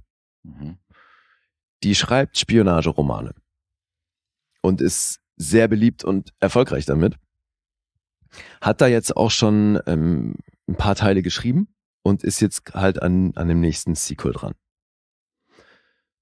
Und dann gibt sie, gibt sie so eine Lesung und wir sehen sie halt so, wie sie als Autorin gefeiert wird und irgendwann im, ist sie im Zug unterwegs und dann setzt sich so ein bärtiger Typ gegenüber von ihr hin. Und sie denkt schon wieder, okay, das ist irgendein Fan, weil er dann auch ihr, ihr letztes Buch hat und das liest und dann halt so nach ein paar Sätzen dann so erkennt, ach Mensch, sie sind die Autorin, krass. Mhm. Und dann kommen die ins Gespräch und er sagt in so einem Nebensatz Dinge, die, die wir als Zuschauer wahrnehmen, die sie so ein bisschen überhört, aber die halt schon einen Hinweis darauf geben, dass sie jetzt anscheinend irgendwie äh, in Gefahr ist. Und dann kommt auch schon der nächste Typ an, hat auch ein Buch, was äh, von ihr stammt und möchte ein Autogramm haben. Und dem Moment, wo sie das unterschreiben will, sehen wir, dass er keinen Stift hat, sondern ein Messer und sie halt attackieren will. Und dann greift aber der Typ, der ihr gegenüber sitzt, ein und rettet sie aus der Situation. Und macht das alles äh, ziemlich lässig. und da sehen wir schon, also zum einen eine größere Actionsequenz im Zug, wie er halt dann anfängt, Leute auseinanderzunehmen, um sie aus dieser Situation zu befreien. Und sie weiß halt gar nicht, was abgeht, weil sie ja plötzlich attackiert wird von irgendwelchen offensichtlich feindlichen Spionen und jetzt da ein, wie wir dann erfahren, tatsächlich einen Spion an ihrer Seite hat, der sie halt beschützt. Mhm. Und sie hat dann in, in diesem Moment, weil er hat sich mit ihr halt über ihre Romane unterhalten und wir sehen auch schon zu Beginn, als sie diese Lesung hält, sehen wir immer wieder verfilmte ähm, Szenen aus diesem Roman. Sie beschreibt dann eben die Handlung und dann sehen wir Henry Cavill und John Cena, wie er eben, also Henry Cavill ist dann Argyle, dieser Überspion aus ihren Roman, halt so eine James Bond Figur und sein Sidekick ist Wyatt, gespielt von John Cena. Mhm. Und die sind natürlich beide bestens in Form und nehmen halt mit einer Lässigkeit da äh, in den gefährlichsten Szenarien die Leute auseinander. Und weil sie da eben am Anfang schon was ähm, erzählt hat, haben wir diese Figuren schon gesehen und jetzt verschwimmt das so ein bisschen, weil wenn sie jetzt diesen neuen Agenten, der sich ihr halt vorgestellt hat und mit ihr noch drüber gesprochen hat, hey, es, im realen Leben sehen Agenten aus wie ich. Und der Typ wird übrigens von Sam Rockwell gespielt. Okay. Und eben nicht wie Henry Cavill. Hat sie dann in diesen Action-Momenten, verschwimmt das für sie so ein bisschen. Ne, wir sehen Sam Rockwell in Action und dann guckt sie halt rüber zu ihm und sieht Henry Cavill, wie er gerade diese Aktion ausführt, die halt Sam Rockwell gemacht hat. Ah ja. Ja, und so fängt sie dann halt auch an, Sam Rockwell irgendwie gut zu finden, weil er halt irgendwie das ausstrahlt, was sie so über Spione geschrieben hat. Mhm. Na, und als sie dann aus dieser Situation raus sind, erklärt er ihr halt, was Phase ist. Und das ist jetzt nämlich so, dass sie mit ihren Spionageromanen zufälligerweise die Realität getroffen hat. Okay, das heißt, alles, was sie in den Romanen fiktiv beschrieben hat, Hm. ist wirklich so passiert. Okay. So, und jetzt ist sie ja gerade äh, dabei, das letzte Buch zu vervollständigen. Und weil halt im Verlauf dieses Buchs jetzt auch schon alles so passiert ist, wie sie es geschrieben hat, ist jetzt dieser Agent ge- namens Aiden Wild äh, zu ihr gekommen, um sie zu schützen, weil es jetzt halt eine gegnerische Fraktion gibt, die nicht will, dass sie dieses Buch zu Ende schreibt, weil sie damit was aufdecken würde, was diese ähm, fiese Organisation halt vorhat. Okay, also wir haben hier quasi die guten Spionen und dann gibt's eine böse Organisation und die haben was vor und das beschreibt sie in ihrem Buch und die wollen natürlich verhindern, dass das aufgedeckt wird. Ah ja. Also wollen sie verhindern, dass das Buch zu Ende geschrieben wird. Mhm. Mysteriös. Naja, so ver, äh, ver, äh, ist hier halt diese Fiktion mit der Realität irgendwie verwoben. Ja fast, fast wie Nocturnal Animals hier von Ja, der ja, es hat auf jeden Fall geht's in, in so eine Richtung. Ja, die Comedy-Version davon. Wahrscheinlich um einiges leichter. Ja, ja, und natürlich auch recht actionlastig. Mhm. Und klar, bedingt durch die Besetzung und durch den Filmemacher ist diese Action halt auch immer gespickt mit Comedy-Momenten, ja. Und das ist halt schon auch wild besetzt. Also das wird dann schon auch in der Handlung kommen wir dann irgendwann an einen Punkt, wo du dir denkst, so, oh Leute, also ich meine, es ist eh schon alles hart konstruiert, aber so, really? Mhm. Weil das dann irgendwie noch so ein bisschen so eine, so eine Born-Komponente kriegt. Und dachte so, ey Leute, also Übertreiben die ein bisschen, Jetzt äh, übertreibt er eigentlich schon hart, aber es ist halt so ein Action-Vehikel und ich meine, jetzt wenn du anfängst beim Mission Impossible die Handlung auseinanderzunehmen, das sind ja auch abstruse Sachen dabei. Mhm. Hier haben sie den Bogen schon hart überspannt, aber mein Gott, ne, also also klar, das wirkt sich auf die Punkte aus, die ich dem Film gebe, weil das schon wirklich hart konstruiert ist. ja. Wobei so Matthew, Matthew Vaughn finde ich mal gut. Kick ist ja eine Comic-Adaption, aber jetzt auch so Kingsman ja auch, aber die Action ist ja schon meistens sehr, also und die, die Story ist ja auch meistens sehr äh, konstruiert und sehr hanebüchen teilweise, also. Ja, aber hier Aber- kommst du tatsächlich an einen Punkt, wo es dich so ein bisschen frustriert, weil du halt merkst, wie krass das alles Mittel zum Zweck ist, diese Handlung, Okay. damit sie eben zum nächsten, zum nächsten Action-Ding kommen. Und Mhm, mhm. ja, es ist halt Wirkt sich negativ dann aus. definitiv. Mhm. Also das ist bei dem hier schon echt extrem. Ich bin ja wirklich auch bereit, bei, bei vielen dieser Filme da über vieles hinwegzusehen, aber ja. Und also der, der hat, der hat noch andere Sch Schwachpunkte. Das ist wirklich nicht nur die konstruierte Handlung. Mhm. Naja, jetzt erstmal noch kurz zur restlichen Besetzung. Es gibt dann eben hier den, den Director Ritter, der von Brian Cranston gespielt wird. Das gerade schon Dua Lipa erwähnt, die aber nur in einer Sequenz. Das ist wieder in dieser fiktiven, also in dieser Roman im Film Sequenz, die wir sehen. Ah ja, Da ist Dua Lipa dann eben mit Henry Cavill zugange. Irgendeine Tanzszene oder so war das war. Ja. Naja. Das ist eben so die Einleitung zu dem ersten Action-Ding. Ariana DeBose ist dabei. Catherine O'Hara. Hm. Das ist irgendwie jede Woche ein Film mit Catherine O'Hara. Ist so hart. Die Letterbox-Statistik, äh, kleines Foreshadowing vielleicht auf dieses Jahr. Ja. Samuel L. Jackson sehen wir hier nämlich auch und Sophia Butella auch, aber eben beide in anderen Rollen. Hm, ja, okay. Beide aus dem Kingsman-Universum, Mhm. Ja, beziehungsweise Franchise. Okay. und er hat ja, also Matthew Vaughn hat selber auch im Interview gesagt, dass er Henry Cavill besetzt hat, weil er jemanden wollte, der optisch so für die Rolle von James Bond geboren ist. Und Mhm. das passt ja sehr gut, weil Cavill war ja auch damals ein Kandidat für Casino Royale, als es um die neue Bond-Besetzung ging. Und er war damals aber halt Anfang 20 und damit zu jung, Mhm. ist da rausgefallen, aber wäre natürlich rückblickend auch ein, ein super James Bond gewesen. Ne? Also, Voll, ja. Ja. Klar. Ja, und das ist ähnlich wie Cat Person, so ein Film, wo ich dann durch den Trailer irgendwie dachte, es geht hier um Katzen, also oder dass diese Katze halt auch eine, eine sehr große Rolle spielt, weil die ist ja schon sehr präsent auf dem Plakat auch, ne, also weil Ellie Conway, diese Autorin, die hat eine Katze, die sie aber auch mitnimmt auf Reisen, deswegen hat die so einen Rucksack, Mhm. wo die Katze drin sitzt und der Rucksack hat halt wie so ein Guckloch, ne, also wie so ein Bullauge. Mhm. da sehen wir dann immer die Katze durch. Ja, und die Katze heißt Alfie und wird von Chip gespielt. Und das ist die Katze von Claudia Vaughn. Okay. Die wurde aber auch schon für manche Szenen oder für manche Action-Pieces im Trailer, habe ich gesehen, äh, hat man auch ein bisschen CGI benutzt. Und Ey, diese, das ist halt das Ding. und diese CGI-Katze in dem Trailer war auf jeden Fall mein absolutes Lowlight. Äh, ja, den dazu, fand ich ja ganz launig und dann kam diese CGI-Katze und ich dachte, Alter, wie scheiße sah das denn ja, aus? dazu wäre ich jetzt eh noch gekommen, weil ich finde es ein Witz, dass hier gelistet ist, dass das die Katze von Claudia Schiffer ist, weil die kann nur Vorlage für irgendeine CGI-Katze gewesen sein. Okay. Weil also ich hätte höchstens eine Sequenz im Film wirklich erkannt als eine reale Katze. Der Rest ist CGI-Katze. Mhm. Und ja, da hast du einen wichtigen Punkt angesprochen, weil das sieht hier zum Teil wirklich schlimm aus. Also die CGI ist stellenweise wirklich hart. Jetzt ist es aber halt auch so, dass vieles von dieser schlimmen CGI in dieser fiktiven Roman im Film Sache stattfindet. Mhm. Und deswegen dachte ich am Anfang noch so, Das so ja, okay, das ist jetzt quasi so eine. Märchenwelt und deswegen ist das nochmal so, soll das so drüber aussehen? mhm. Aber du siehst das dann auch eben in der realen Welt ist das ähnlich schlimm und deswegen ist CGI hier auf jeden Fall ein Faktor. Und das ist schon krass, weil auch das ist ein 200 Millionen Dollar Film. Wow, Alter. Und da hatten wir es ja vorhin von, ne? Für das Budget hättest du auf jeden Fall auch mal 10 kleine Filme oder 20 kleine Filme drehen können. Mhm. Und so ist es dieser geworden. Und äh, das kann ich auch schon vorwegschicken. Also zum Zeitpunkt, als ich mir das rausgeschrieben habe, hat der gerade mal 92 Millionen eingespielt und der ist jetzt schon eine ganze Weile im Kino.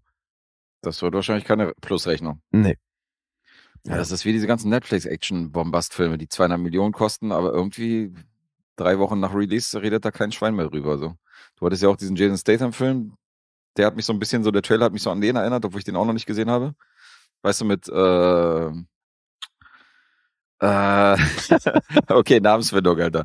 Wie heißt er denn von Pearl Harbor hier, der Bursche? Der spielt da irgendwie diesen Schauspieler. Mann, Alter, heute fällt mir gar kein Name ein, wirklich, das ist ja zum Kotzen, ey. Pearl Harbor, Der auch bei- Ben Affleck, Nein, der auch bei Oppenheimer mitgespielt hat. Der andere, nicht Ben Affleck. äh, Orden Ehrenreich war das nicht, ne? Nein, das war der von, äh, wie heißt diese? Ich, Alter, Pearl Harbor ist ewig her, habe ich erfolgreich verdrängt. Den den fand ich wirklich schlimm. Mann, wie heißt denn diese Serie mit, äh, mit äh, Eva, mit Eva Green? Josh Hartnett, Mann. Ach so, Meine stimmt, Fresse, Josh. Hartnett war im Pearl Harbor, ja. Josh Hartnett war die zweite Hauptrolle. ja Du hattest doch- Ehrenreich war da noch ein Quark im Regal, ne? Den gab's Genau, noch der war viel zu jung. Du, du hattest diesen Film ja mit Jason Statham und Josh Hartnett spielt irgendwie diesen Schauspieler mit diesen Yachten und so hin und her, auch so irgendwie Ja, ja, leichte Tonalität, aber doch Action mit drin und so. den fand ich besser. Den fandst du besser. Ich glaube ja. Aber auch ich so ein. Film, weißt du, den, da redet ein Jahr später halt keiner Ja, nee, über natürlich nicht. So. Also das das halt vergisst du auch sofort wieder und das wird mit Argyle auf jeden Fall ähm, wahrscheinlich noch schneller viel, passieren. Naja, wobei, also so wie es klingt, werden wir da ja Sequels bekommen. so. Hm, Wobei naja, jetzt mal bei dem Einspiel, Das gucken wir ist mal, halt ob er bei dem. Plan bleibt. Ja. Das ist halt die Frage, ja. Ging ja nicht so auf finanziell. Ja. Hm. ja, jetzt gibt's ja aber noch eine spannende Sache, vor allem, glaube ich, für dich wegen Musik. Weil hier kommt ein Song zum Einsatz, der heißt Now and Then. Und das ist ziemlich abgefahren, weil der Song wurde entwickelt von Giles Martin, Sohn von Sir George Martin, Beatles-Produzent. Und Giles war auch ähm, Da kenne ich tatsächlich die Story. Musikproduzent hier bei Argyle Mhm.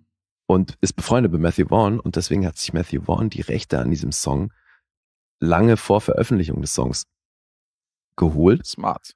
und konnte so den Song hier in dem Film einsetzen. Mhm. Und das ist halt echt crazy, weil jetzt hast du einfach Argyle halt einfach einen neuen Beatles-Song. Haben sie einfach irgendeine Aufnahme von John Lennon noch rausgekramt und dann das Ganze überarbeitet, ey. Ja. einen nagelneuen Beatles-Song rausgebracht in, in diesem Jahr. Mhm. Schon krass. Also echt, nee, letztes Jahr, ne, wurde, ähm, War das wurde der 23? fertiggestellt, ja. Ja, okay. Genau. Paul McCartney und Ringo Starr haben den 23 fertiggestellt, aber eben der Song stammt aus, eigentlich von 77. Abgefahren. Weil John, wie hast du schon gesagt, John Lennon hat den eingesungen. Mhm. Naja. Ja, das hat damit zu tun, die wollten den Mitte der 90er schon mal rausbringen und damals haben sie es aber nicht hinbekommen, diese Aufnahmen aus den 70ern so zu restaurieren, dass das gut genug klingt. Und jetzt war halt die KI und so, so weit, dass man das so ein bisschen rekonstruieren Ja, weißt du, wer dafür verantwortlich war? Nee. Peter Jackson natürlich. Weil der hat mit seiner Ah. Beatles-Serie hier, Get Back, halt äh, denen gezeigt, okay, du kannst Sachen so aufarbeiten. Und so haben die das in, eben auch mit den Vocals von Lennon gemacht. Und Okay. so kam der Song erst November 23 raus. Und das halt aber eben drei Monate vor dem Film. Und äh, ja, Matthew Vaughn, der Fuchs, hat sich die Rechte rechtzeitig gesichert. Krass. Crazy. Mhm. Ja. Und das ist Argyle und es ist halt, ja, weiß ich nicht, hast du einen Eindruck bekommen, wie ich das gefunden habe? Sehr durchschnittlich offensichtlich. Ja, es ist leider wirklich, kommt nicht ansatzweise an diese Kingsman-Filme ran. Wobei ich meine, den letzten von den Kingsman-Filmen, der hat ja schon auch, der ist hart abgeschmiert, ne? Der war ja lange nicht so gut wie. Ja, hart Also abgeschmiert. zwei ich hatte da war- schon auch schon Spaß. Das war der mit Channing Tatum, war doch da. nee, das war ja der zweite. Und der dritte war ja Ach so, dieses meinst dieses, dieses Prequel mit, ja. mit Feinds und so. Ja. Ja, okay, den habe ich nicht gesehen. Ach so, Aber okay. ich kann mich erinnern, Weil den den, Channing Tatum, den fand ich auch schon, also der zweite war auch schon ein bisschen schlechter als der erste, Aber immer noch aber immer noch Ja. sehr unterhaltsam. fand ich auch. Aber mit dem Prequel haben die auch schon eben, das war nicht gut und Ja, da war ich nach deiner Rezension nicht mehr, ähm, nicht mehr motiviert, den zu gucken. ja, und ich glaube, bei Argyle hättest du auf jeden Fall auch das eine oder andere auszusetzen. Mhm. Schade. Ja, und ich meine, zwei Stunden 19, auch dieser Film, ne? Also Boah, Alter. kriegen es nicht mehr hin, irgendwie selbst so einen Actionfilm unter zwei Stunden zu erzählen. 140 Minuten für so einen Film, ey, was?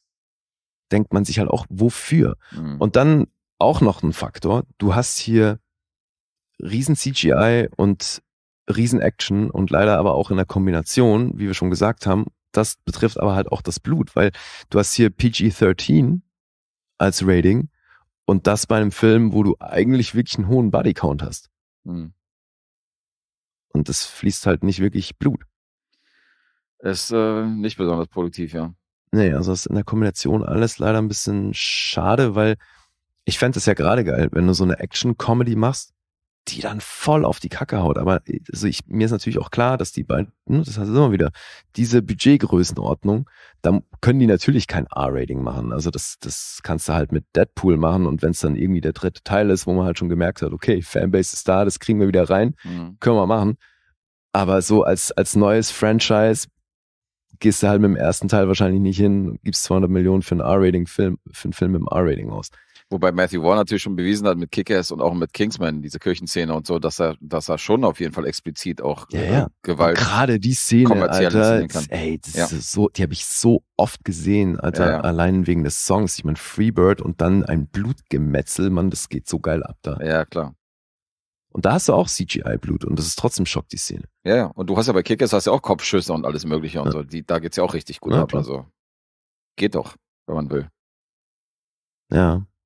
Ich weiß auch nicht, was der Ansatz hier war, aber es, es gibt leider doch einiges, was an dem Film echt lame ist. Mhm.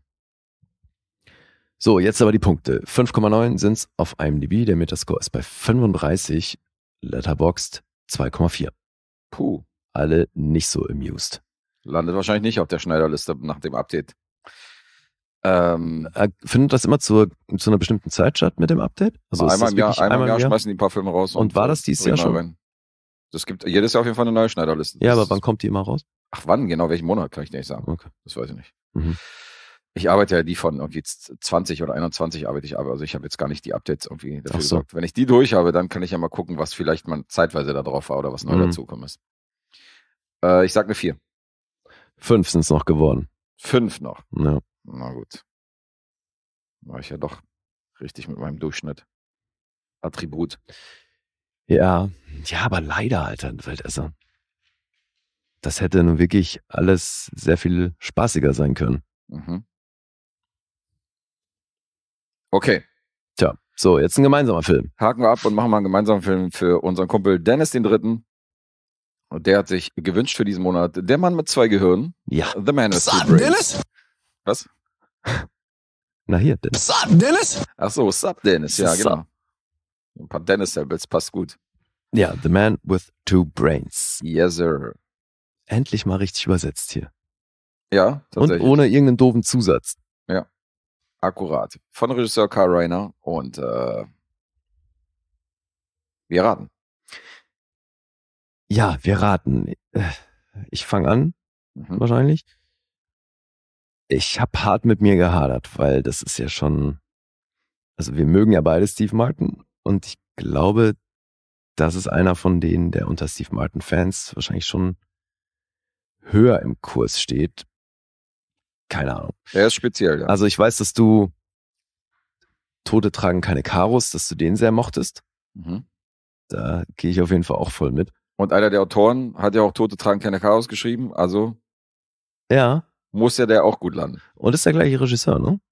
Ah, ja, war auch Reiner. Ja. Ja. ja, stimmt, stimmt, ja. Der hat mit Steve Martin und äh, diesem besagten George Geib übrigens äh, das Drehbuch geschrieben. Ja, trotzdem ist es ja. Ah, ich weiß nicht, ich, ich bin bei sieben gelandet Okay. für dich. Ich sag bei dir, pass auf, 6,5. Mhm. Okay, ist aber auch schon tief gestapelt, oder? Also, Ja. Er ist, äh, wie ich schon gerade erwähnt habe, er ist schon speziell. ja. Und äh, man muss das mögen. Und du bist ja auch so bei, ja, du bist bei kultigen Komödien von früher, bist ja auch nicht immer einhellig. Äh, ich glaube, Frankenstein Junior warst du auch sehr verhalten. Glaube ich, bei dem Mel Brooks Film, oder? Was? Nee. Doch, doch. War ich wirklich? Da warst du auch so bei 6,5 oder so, wo ich gedacht habe, gut, ist so, ein, ist so eine Comedy, die sehr, sehr hoch angesehen ist. Und äh, aber es ist halt, ist alles sehr subjektiv, so weißt du, Humor. Jetzt guck ich jetzt nach. Ich glaube mich zu erinnern, dass du da ein bisschen was auszusetzen hattest. Mhm. Sechs Punkte. Doch, sechs Punkte. In deiner Erinnerung waren es wieder voll der Megafilm, oder? was? So entsetzt, wie du gerade warst. Nee, ist ja schön, dass, dass du dich da besser erinnerst als Ja, ich erinnere mich da an bestimmte Rezensionen, wo ich Ja. denke, ja, das sind so Filme, die viele zum Lachen bringen und äh, die bei uns halt manchmal funktionieren, Ja, manchmal nicht. aber ich merke immer wieder, dass es einen riesen Unterschied macht, ob ich die Filme von damals kenne oder halt heute zum ersten Mal sehe. Und das war ja bei Frankenstein Junior war das ja so. Den kannte ich Das ja war nicht eine von früher. Mhm. Den hier kanntest du von früher? Ja. Ach, okay. Das wäre natürlich, äh, ja, gut. Wäre nicht schlecht gewissen, äh, weil ich habe den zum ersten Mal gesehen. Ich kannte den gar nicht. Ach du Scheiße, wirklich? Für mich war es eine Erstsichtung, ja. Fuck, das wäre eine wichtige Info gewesen. Ja, no shit. Für mich auch. Das hätte man mal fragen können, aber egal. Ja, okay. Ja, Dann hättest du mich noch tiefer einge einge ja, ja, auf jeden, ja. Dann sei froh, sag ich mal so. Ach so, okay. Na gut. Alright. Ja, jetzt ist, was ist besser, wer erzählt die Handlung? Wenn, wenn du den zum ersten Mal gesehen hast, ist das ja vielleicht ganz gut, wenn du das machst. Ich soll die Handlung zusammenfassen. Nee? Ja, Ich kann es auch machen. Äh, wenn du mach du, du bist besser bei sowas. Naja, also mit, hier kommen wir ja schon auch mit ein paar Namen. da geht's schon los. Da, da wäre ich ja mal sehr gespannt, diesen Running Gag, wie du, wie du den Rollennamen dann Ey, aussprichst. das finde ich ja so geil, ne? Dass das auch irgendwie dann äh, andernorts aufgegriffen wurde mit diesem bekloppten Namen des Protagonisten, Alter. Das ist, also ich find's ja geil. Dass er selbst bei drei Amigos äh, den auch nochmal Ja, gesagt ja. hat, weißt du, in dieser Ja. Zauberszene. ist. Ja, und das, wo war denn das? Habe ich mir das aufgeschrieben? Gab doch noch irgendein, irgendein Sci-Fi-Projekt, wo die dann jemanden von einem anderen Planeten haben die dann so genannt. Okay. Bei Arrival haben sie das Alien so genannt. Äh, wahrscheinlich. Äh, Ja, weil Steve Martin spielt ja Dr. Michael Huffer. Ich finde das auch so geil, was er immer für eine Fresse zieht dabei, weil halt dieses letzte Her Ja, ja. so bekloppt, weil es einfach nur so drangehängt ist. Ach ja. ja, stimmt. Da ist auch meistens so eine kurze Pause dazwischen, weil er sagt, Fur. Weißt du, und dann kommt, so, kommt irgendwas noch hinterher, so, weißt du, was Und das ist ja auch null konsequent, ne? Also weil auch wenn er das ganz geil buchstabiert in der einen Sequenz, es, ähm. Er spricht nicht immer es identisch. spricht nicht, er spricht nicht immer gleich aus und Ja. die Leute um ihn rum erst recht nicht und so. Das ist halt der Running Gag. Also keiner kann seinen Namen richtig aussprechen. Und er sagt aber, naja, so wie es geschrieben wird halt. H-F-U-H-R-U-H-U-R-R. Ganz klar. Ja.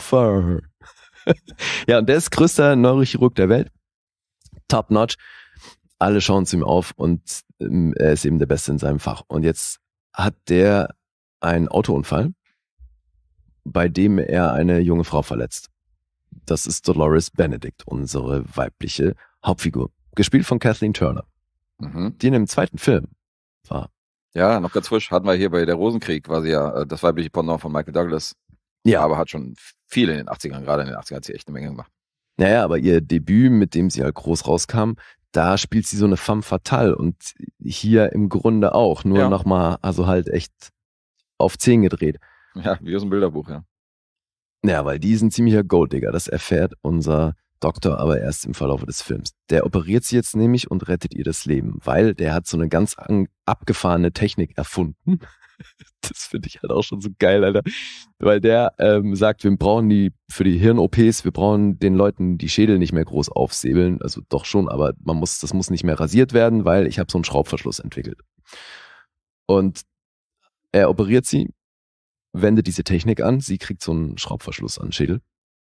Wie auch so geil, wenn Wenn das verrutscht. in dem späteren Zeitpunkt er dann sagt, ja, du musst das ein bisschen richten und so, ne, du musst nur einen Hahn drehen. Ja, und jetzt erholt sie sich im Krankenhaus und dabei verlieben sich die beiden. Mhm. Und weil sie natürlich erfährt, dass er halt der erfolgreichste Hirnchirurg der Welt ist gerade, denkt sie natürlich, ja, da ist ordentlich Cash im Spiel, also heiratet sie den erst recht. Und das halt auch eben sehr schnell, weil die ist halt wirklich ein Golddigger. Und er, das erfahren wir auch zu Beginn des Films, der, er ist noch nicht lange verwitwet. Seine Frau ist gestorben und er hängt halt immer noch an der dran. Und das spielt dann eben jetzt auch wieder eine Rolle, weil er eben durch das Verhalten von Dolores schon recht schnell dann merkt, wie die halt unterwegs ist, dass sie kein wirkliches Interesse an ihm hat, sondern primär an seinem Geld. Und als die jetzt zusammen auf einen Kongress reisen nach Wien, lässt er sich von ihr scheiden. Das kann man, glaube ich, schon noch erzählen, ne? Ja. Ja, weil er lernt in Wien jemanden kennen. Also er lässt sich nicht deswegen scheiden, sondern er kriegt da eben mit, dass die halt äh, einfach nicht treu ist und keine romantischen Interessen an ihm hat. Jetzt lernt er in Wien diesen mysteriösen Doktor Alfred Necessiter kennen. Und der eröffnet ihm neue Möglichkeiten, weil der hat bei sich eine Menge Hirne gebunkert und da kommen wir jetzt zum Titel.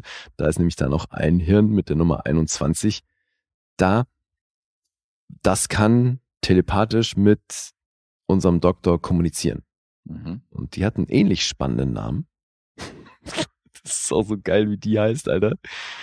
Äh, ich habe es mir aufgeschrieben. Anne Umeleamehe. Aber Dr. Necessita ist schon auch ein geiler Name. ey. Ja, ja, also sowieso. Die Figuren hier, die sind halt auch maßlos überzeichnet alle. Mhm. Und ich finde es schön, dass die, habe ich gelesen in True Effects, dass die Stimme von diesem Gehirn mit der Nummer 21, was sich dann eben fortan mit unserem Doktor unterhält, Ist jemand bekannt ist. das ist Sissy Spacek. Ja, Mann. Das habe ich natürlich nicht im Film erkannt, aber fand ich auch, fand ich auch abgefahren. Ja, das ist ganz schön. Mhm. Ja, Necessita wird von David Warner gespielt, der auch erst 22 gestorben ist. Ja. Und Paul Benedict können wir noch erwähnen, der hier den Butler spielt. James Cromwell haben wir noch. James Cromwell auf jeden ja. Als Bayer. Weil ich finde das Bei mit dem. Butler halt auch so geil. Mhm. Also es ist so bekloppt, ne? Es ist in so einem ganz fancy neuen Hotel, äh, nee, Apartmentkomplex, wo Necessita ihn hinführt und er sagt halt noch so, hey, es ist komisch irgendwie bei so einem Arzt, der mit mysteriösen Hirn-OPs zu tun hat, hätte ich halt eher so ein Schloss erwartet in Österreich. Und dann machen die eben dieses Apartment auf und innen drin ist es halt einfach genau das Schloss-Szenario, ey. ja, ja. Mit Zugbrücke und allem Scheiß. Das ist so bekloppt. Und da sehen wir schon, in welche Richtung das geht, weil was ich nicht mehr auf dem Schirm hatte, das ist keine gängige Komödie, sondern es ist schon Spoof-Style alles. Ja, ja, voll. Und der Humor ist auch voll auf Spoof und ähm, das, der nimmt halt so ein bisschen diese Mad Scientist Horrorfilme auf die Schippe. Ja. Weil äh, du hast wirklich diesen nackte Kanone-Humor. Es gibt ja diese OP-Szene, wo er am Anfang operiert und dann heißt es so, äh, Schwester, Schweiß auf der Oberlippe Mhm. Und sie fügt ihm dann den Schweiß auf die Oberlippe Ja. zu, weißt du, in der OP-Moment. Also Und so, dann eine, so eine Szene hast du. halt nächstes drin. auch einfach so Katzen miauen. Also get that cat out of here. So völlig beiläufig, aber auch ein Running Gag, weil diese Katze offensichtlich Ständig immer im OP da ist. ja. Das ist so, so geil. Ja, ja, also das feiere ich aber sehr daran. Ja.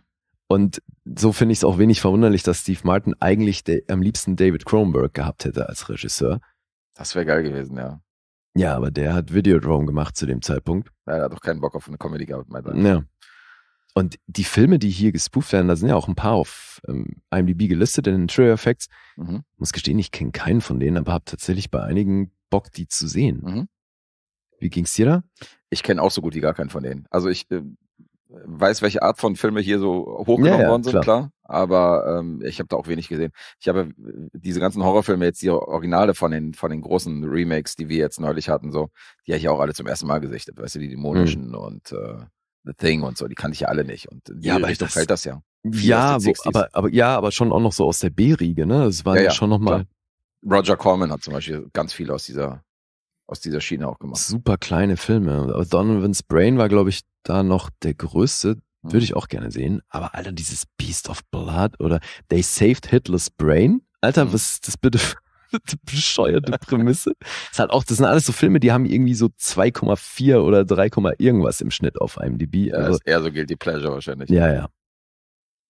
Ja. Aber du hast auch so, Aber durch Scanners kann ich halt verstehen, dass er Bock hatte, dass Ja, ja, Cronenberg diesen Film macht. Und der wäre ja auch passend gewesen. Aber Kyle Reiner hat das äh, überhaupt nicht schlecht gemacht. Ich finde, die, also es ist sehr offensichtlich, dass die hier eben so diese Sorte Film aufs Korn nehmen. Und das funktioniert in meinen Augen immer noch sehr, sehr gut. cool.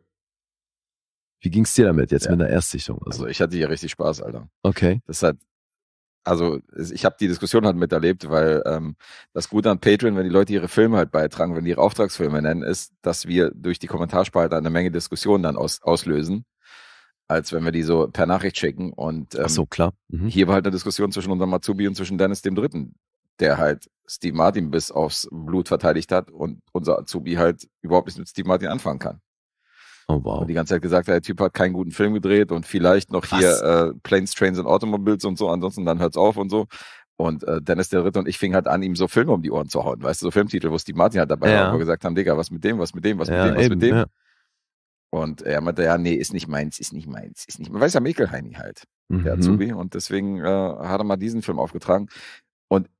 Das ist halt ein klassischer Steve Martin, weil du hast diesen guten Wortwitz, du hast diese Physical Comedy, die er Ja. voll übertrieben halt irgendwie äh, darstellt, weil er spielt diesen Arzt natürlich mit den Verrenkungen und mit dem, weißt du, wo er sie über die Schwelle trägt und dann sagt, mach mal ein Foto, Alter, wie lang diese die- Szene wie lang ist. diese Szene ist und sie entwickelt die Fotos dann sogar und zeigt sie ihm, Alter. Und das äh, war noch keine Digicams.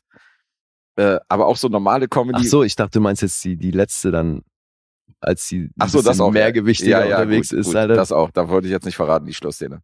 Aber auch, dass der Fahrstuhl zum Beispiel auch nie richtig hält, weißt du? Dass der entweder so rausklettern Ja. muss oder dass er so hochklettern muss aus diesem Fahrstuhl und Mhm. so. Und äh, ey, die Dialoge und der Wortwitz ist großartig, Mann. Der sagt ja an einer Stelle irgendwie, ja, meine Versuche, also der äh, hier, der Necessiter sagt zu ihm, meine Versuche sind jetzt ungefähr da angelangt, dass ich das Gehirn eines Menschen in einen Gorilla einpflanzen kann. Und Steve Martins Reaktion ist, I couldn't fuck a gorilla. Wo ich voll gelacht habe, hab ich gesagt, Alter, fürs 83 und so, für 83 ist er ganz schön zotig und so. Und ähm, Ja, ja, ist auch Rated R. ja, ja, der ist ready da. Er hat schon wirklich geile Momente, aber man muss diesen Spoof-Humor mögen. Klar. Wenn man so mit den Saka-Brüdern, mit unglaublicher Reise im verrückten Flugzeug und Top Secret, wenn man denen nichts anfangen kann, dann ist das Nee, auf dann keinen Fall das deine albern. Comedy. Ja, klar. Dann findest du das richtig man scheiße. Alles bekloppt hier. Ja, Wie geil ist bitte auch die Auflösung dieses Fahrstuhlkillers, Alter. ja, ja. Wer das dann letztendlich war.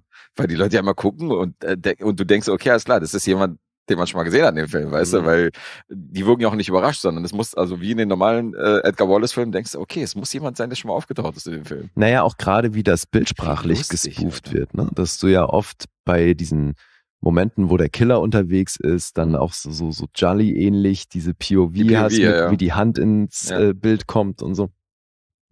Finde ich super, weil er halt eben dieses Ja, ja. Stilmittel auch damit geil bedient. Mochte ich auch total. Und dann hast du halt wirklich diese, diese Metaspoof-Witze wie bei äh, Lieutenant Draven und Nackte Kanone so, dass an einer Stelle halt sagt so, wo es halt, äh, wo die halt bayerisch reden, weißt du, wo er dann letztendlich, nee, nicht bayerisch-österreichisch, wo die dann letztendlich in Wien unterwegs sind, wobei in amerikanischen Filmen ist das ja, Ist einfach die reden, das ist einfach Germany, ja genau. Die, da, da sind mit, Leute mit Lederhosen unterwegs, scheißegal, ob wir gerade in Österreich, der Schweiz oder irgendwie Bayern unterwegs sind. Ja. Und ähm, dann erfährt er aber, dass der Typ, der gerade mit ihm bayerisch redet, dass der halt auch Englisch sprechen kann. Mhm. Und dann sagt er an der Stelle so von wegen so, ja, hier sind keine Untertitel nötig. Mhm. weißt du, so voll so auf den Film bezogen, so, ja, Ja. wir brauchen hier keine Untertitel, der Ja, Typ spricht geil. Englisch, Alter, wie geil ist das? Also, ich fand's großartig. Ja, cool. Ja, und der Name, Alter, immer wieder, wenn er ausgesprochen wird, das ist natürlich das ist ein grandioser Running Gag. Mega. Kommt ja nur ein paar Mal in dem Film vor, ey. Ja. Also, fand ich super. Auch als Erstsichtung. Schön. Freut mich. Krass. Hat mir gefallen. Ja, schade. Ich dachte bei dir, ähm, ich dachte tatsächlich, dass das einer von denen ist, wo du sagst, so, ich wusste nicht, wie der ankommt bei dir, so von dem Humor, aber anscheinend äh, habe ich dich da ein bisschen unterschätzt. Ja, also das ist jetzt auch. trotzdem, trotzdem ein Film, wo ich sagen würde, der, man merkt trotzdem irgendwie, dass der aus der Zeit stammt, was aber auch fein ist. Und Ja. das ist wahrscheinlich nicht sein bester. Ich wüsste jetzt auch gar nicht, ob ich aus dem Kopf so spontan irgendwie eine Zehn-Punkte-Komödie mit Steve Martin hätte. Mhm. Aber du hast schon recht. Ich meine, damals zum Beispiel ein Single kommt selten allein, den hatten wir, glaube ich, auch, den hast du hier rezensiert. Ja. Das ist zum Beispiel ein Film, den habe ich damals gesehen. Ja, Und siehst zwar du. mehrfach Ja. so. Und das Und war da eben mit einer Erstsichtung so, hm, Klar. ja, Bei dir war es genau umgekehrt. Wobei der jetzt Esssichtung bei mir auch gut funktioniert hat. ja. Aber wenn der Nostalgiefaktor dann noch mit reinspielt, dann äh, punkten die ja noch mehr, das stimmt schon. Ja, ja, ich meine, ähm, Jerick hieß der, glaube ich, im Original, ne? Der, Ja, irgendwie so. wie hieß der, wie hieß der auf Deutsch? Irgend, irgendwas mit Geld, glaube ich. Ja, ist auch egal. Äh, den fand ich jedenfalls auch cool. Also es gibt so Solo für zwei gab es noch mit Lily Tomlin, den mochte ich auch. Mhm. Also, Ja, das ist ja auch so eine Body Switch. Nummer. Ja, ne? genau, ist auch so ein Body Switch. Den habe ich ja erst letztes Jahr, glaube ich, gebracht, oder? stimmt, irgendwas war da. Ja. Der hat echt gute Filme in den 80s gemacht. Aber es ist halt so, das waren halt alles wirklich so Steve Martin-Komödien, wo du dir keine anderen vorstellen konntest. So, das ist halt so, Eben, ja. der war halt so ein Typ, so ein Mhm. bestimmter. Ja, ja, und kommt ja auch aus dem Stand-up und das ist, Mhm. spielt hier schon alles stark mit rein. Dann ja auch die Saturday ja. Night Live Schule, Mhm. auf jeden Fall. Ja, freut mich, ja. Geil. Dann sollen wir Punkte vorlesen. Achso, wir können noch ähm, ein Spiel erzählen, weil das ist schon spannend bei dem Film, Mhm. dass der nur in den USA einen Kinorelease hatte. Mhm. Weil der ist ja überall sonst halt irgendwie dann direkt auf Video erschienen. Und hat trotzdem in Deutschland irgendwie so die Runde gemacht. Ja, Weil also so damals, den kannte irgendwie jeder. ist so ein Videothekenfilm gewesen. In Ja. Amerika hat er nur 10 Millionen knapp eingespielt, 10,3. Mhm. War jetzt nicht so der Mega-Hit, aber dazu muss man sagen, dass Steve Martin auch noch nicht der Megastar war. Also das äh, kann man erst später, so dass er wirklich dann Ja. kommerziell erfolgreiche Filme wie Drei Amigos und so gedreht hat. Ja, ja, und das, jetzt haben wir es hier halt. Das ist eine R-rated Comedy. Ja. Romance und Sci-Fi steht auch noch mit im Genre. Der ist schon sehr speziell. Das Publikum für diese Filme, das ist überschaubar. Aber hier haben wir es wieder. 93 Minuten, weißt du, kurzweilig, ein Gag nach dem anderen, nach anderthalb Stunden knapp vorbei, weißt du, nicht auf zweieinhalb Stunden irgendwie aufgebläht. Ja. Damals ging das auch. Mhm. Ja, alle maßlos drüber natürlich. Kathleen Turner, Steve Martin und so, aber es macht Spaß. Wirklich spaßiger Film. Dieses Ding, als sie droht, sich umzubringen und draußen ne, auf dem Fenster Mit der steht Spucke, ja. Wie scheiße war das denn? so eine Rotz. Dann so spuck immer in die Hände. I don't have any saliva left, so, weißt du. Dieses schlechte Saugnapfgeräusch, wie er dann lang. Aber auch geil, wie du, wie du meintest, so, wie sie die Schädeldecke, wie er die Schädeldecke immer so flupp so zurückdreht, so, weißt Mhm. du, der, wenn sie verrutscht, so, ist so bescheuert. Ne? Ja, so viel, äh, so viel zum Castle Hundedreck. Können wir zu den Punkten überleiten, oder? Mhm. IMDb 6,4, hat einen Metascore von 61 und Letterboxd bei 3,3. Das ist auch alles recht verhalten, oder? Das ist schon eher Verhalten, ja. Und ähm, Wo bist du gelandet? ich bin bei einer 8 gelandet. Bei einer 8, wie geil, dann können wir klingeln. Ich bin auch bei 8. Ach, du bist auch bei einer 8. Ja. Na, das machen wir nochmal richtig. Dann haben wir eine Änderungsklingel für Dennis den Dritten, äh, also unseren du getroffen und der Azubi soll sich einfach mal verpissen. Das ist ja geil. Mensch, ey, 8 Punkte, ja, aber- okay. Dann bin ich ja ganz froh, dass ich nicht wusste, dass das eine Erstsichtung war. Der Azubi so. What's so fucking funny? Der denkt sich sowas. Ja, und wir alle Like it. Steamy premise. vor allem bei dem Film. Alter. Ja, das passt. Alright. Unser Nerv hast du getroffen. Das war, das war gut. Alright. Grüße an Dennis den Dritten und dann äh, kommen wir wieder zu unseren eigenen Projekten. Und ähm, mache ich mal die nächste Komödie. Im Denn, Ernst? ja, ja. Ich habe ja, das war ja diesmal ein bisschen gezielt, weil Heute Comedy-Tag. Es war ja ein bisschen gezielt, weil im Rahmen der Oscars gucken wir ja schon eine Menge ernster Stoffe und irgendwie, keine Ahnung, bei mir sind so Nazi-Wochen, äh, ständig gucke ich irgendwelche Nazi-Filme. Mhm. Und da ich gesagt, ich brauche mal gezielt irgendwas, wo ich weiß, das ist jetzt wirklich Hirn aus Kino. Und äh, da kam Mr. Pinks Filmpaket äh, mir zurecht, weil da habe ich mir ein paar Filme rausgelegt und äh, habe mir die ja zur Seite gepackt und habe gesagt, die werde ich mal sichten äh, von Zeit zu Zeit. Mhm. Und da war eine Comedy bei aus dem Jahr 2001, die hört auf den Namen Tomcats. Kennst du den? Bin mir gerade nicht sicher. Irgendwas klingelt da. Tomcats? Ja. Und Regie und Drehbuch mal wieder äh, eine einzige Person, die das gemacht hat, wie bei Tom Ford, Nocturnal Elements, insofern muss ein ähnliches, äh, muss ein ähnlicher Geniestreich sein. Gregory Poirier heißt der Herr oder Poirier oder so. Das ist, äh, der hat als Drehbuchautor, hat er diese Temple Ritter Sequel zum, Sequel zum Beispiel gemacht. Das ist sein erfolgreichster Film in seiner, Mhm. in seiner Vita.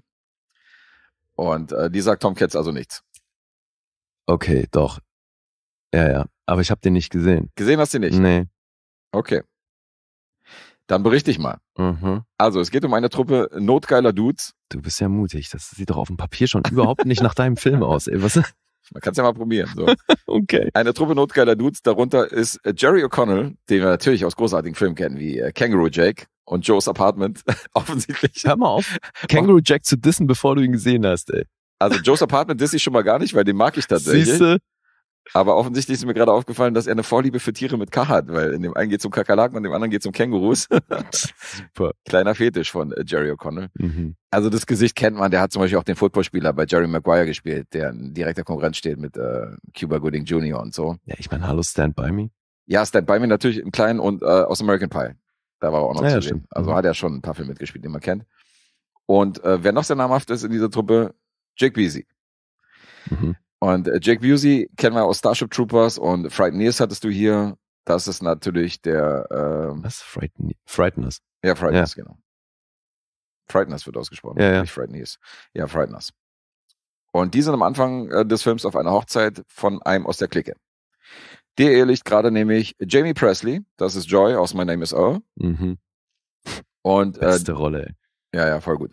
Und die anderen Bumser machen einen Pakt aus.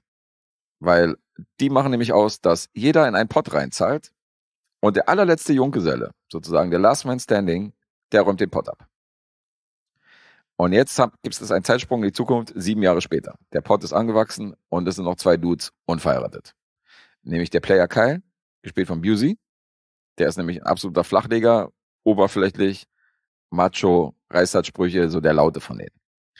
Und dann haben wir die Rolle von Jerry Connell, der spielt Michael. Der ist ein Comiczeichner und ist eher so ein bisschen tollpatschig unterwegs, aber liebenswürdig. Und letzterer, Michael, hat in Vegas bei den falschen Leuten Schulden gemacht und braucht jetzt dringend den Pott, um seinen Hals zu retten. Mhm. Natürlich. Aber dann kommt ihm Undercover-Polizistin Natalie in die Quere. Achtung, gespielt von Shannon Elizabeth, Mhm. die Nadia aus American Pie.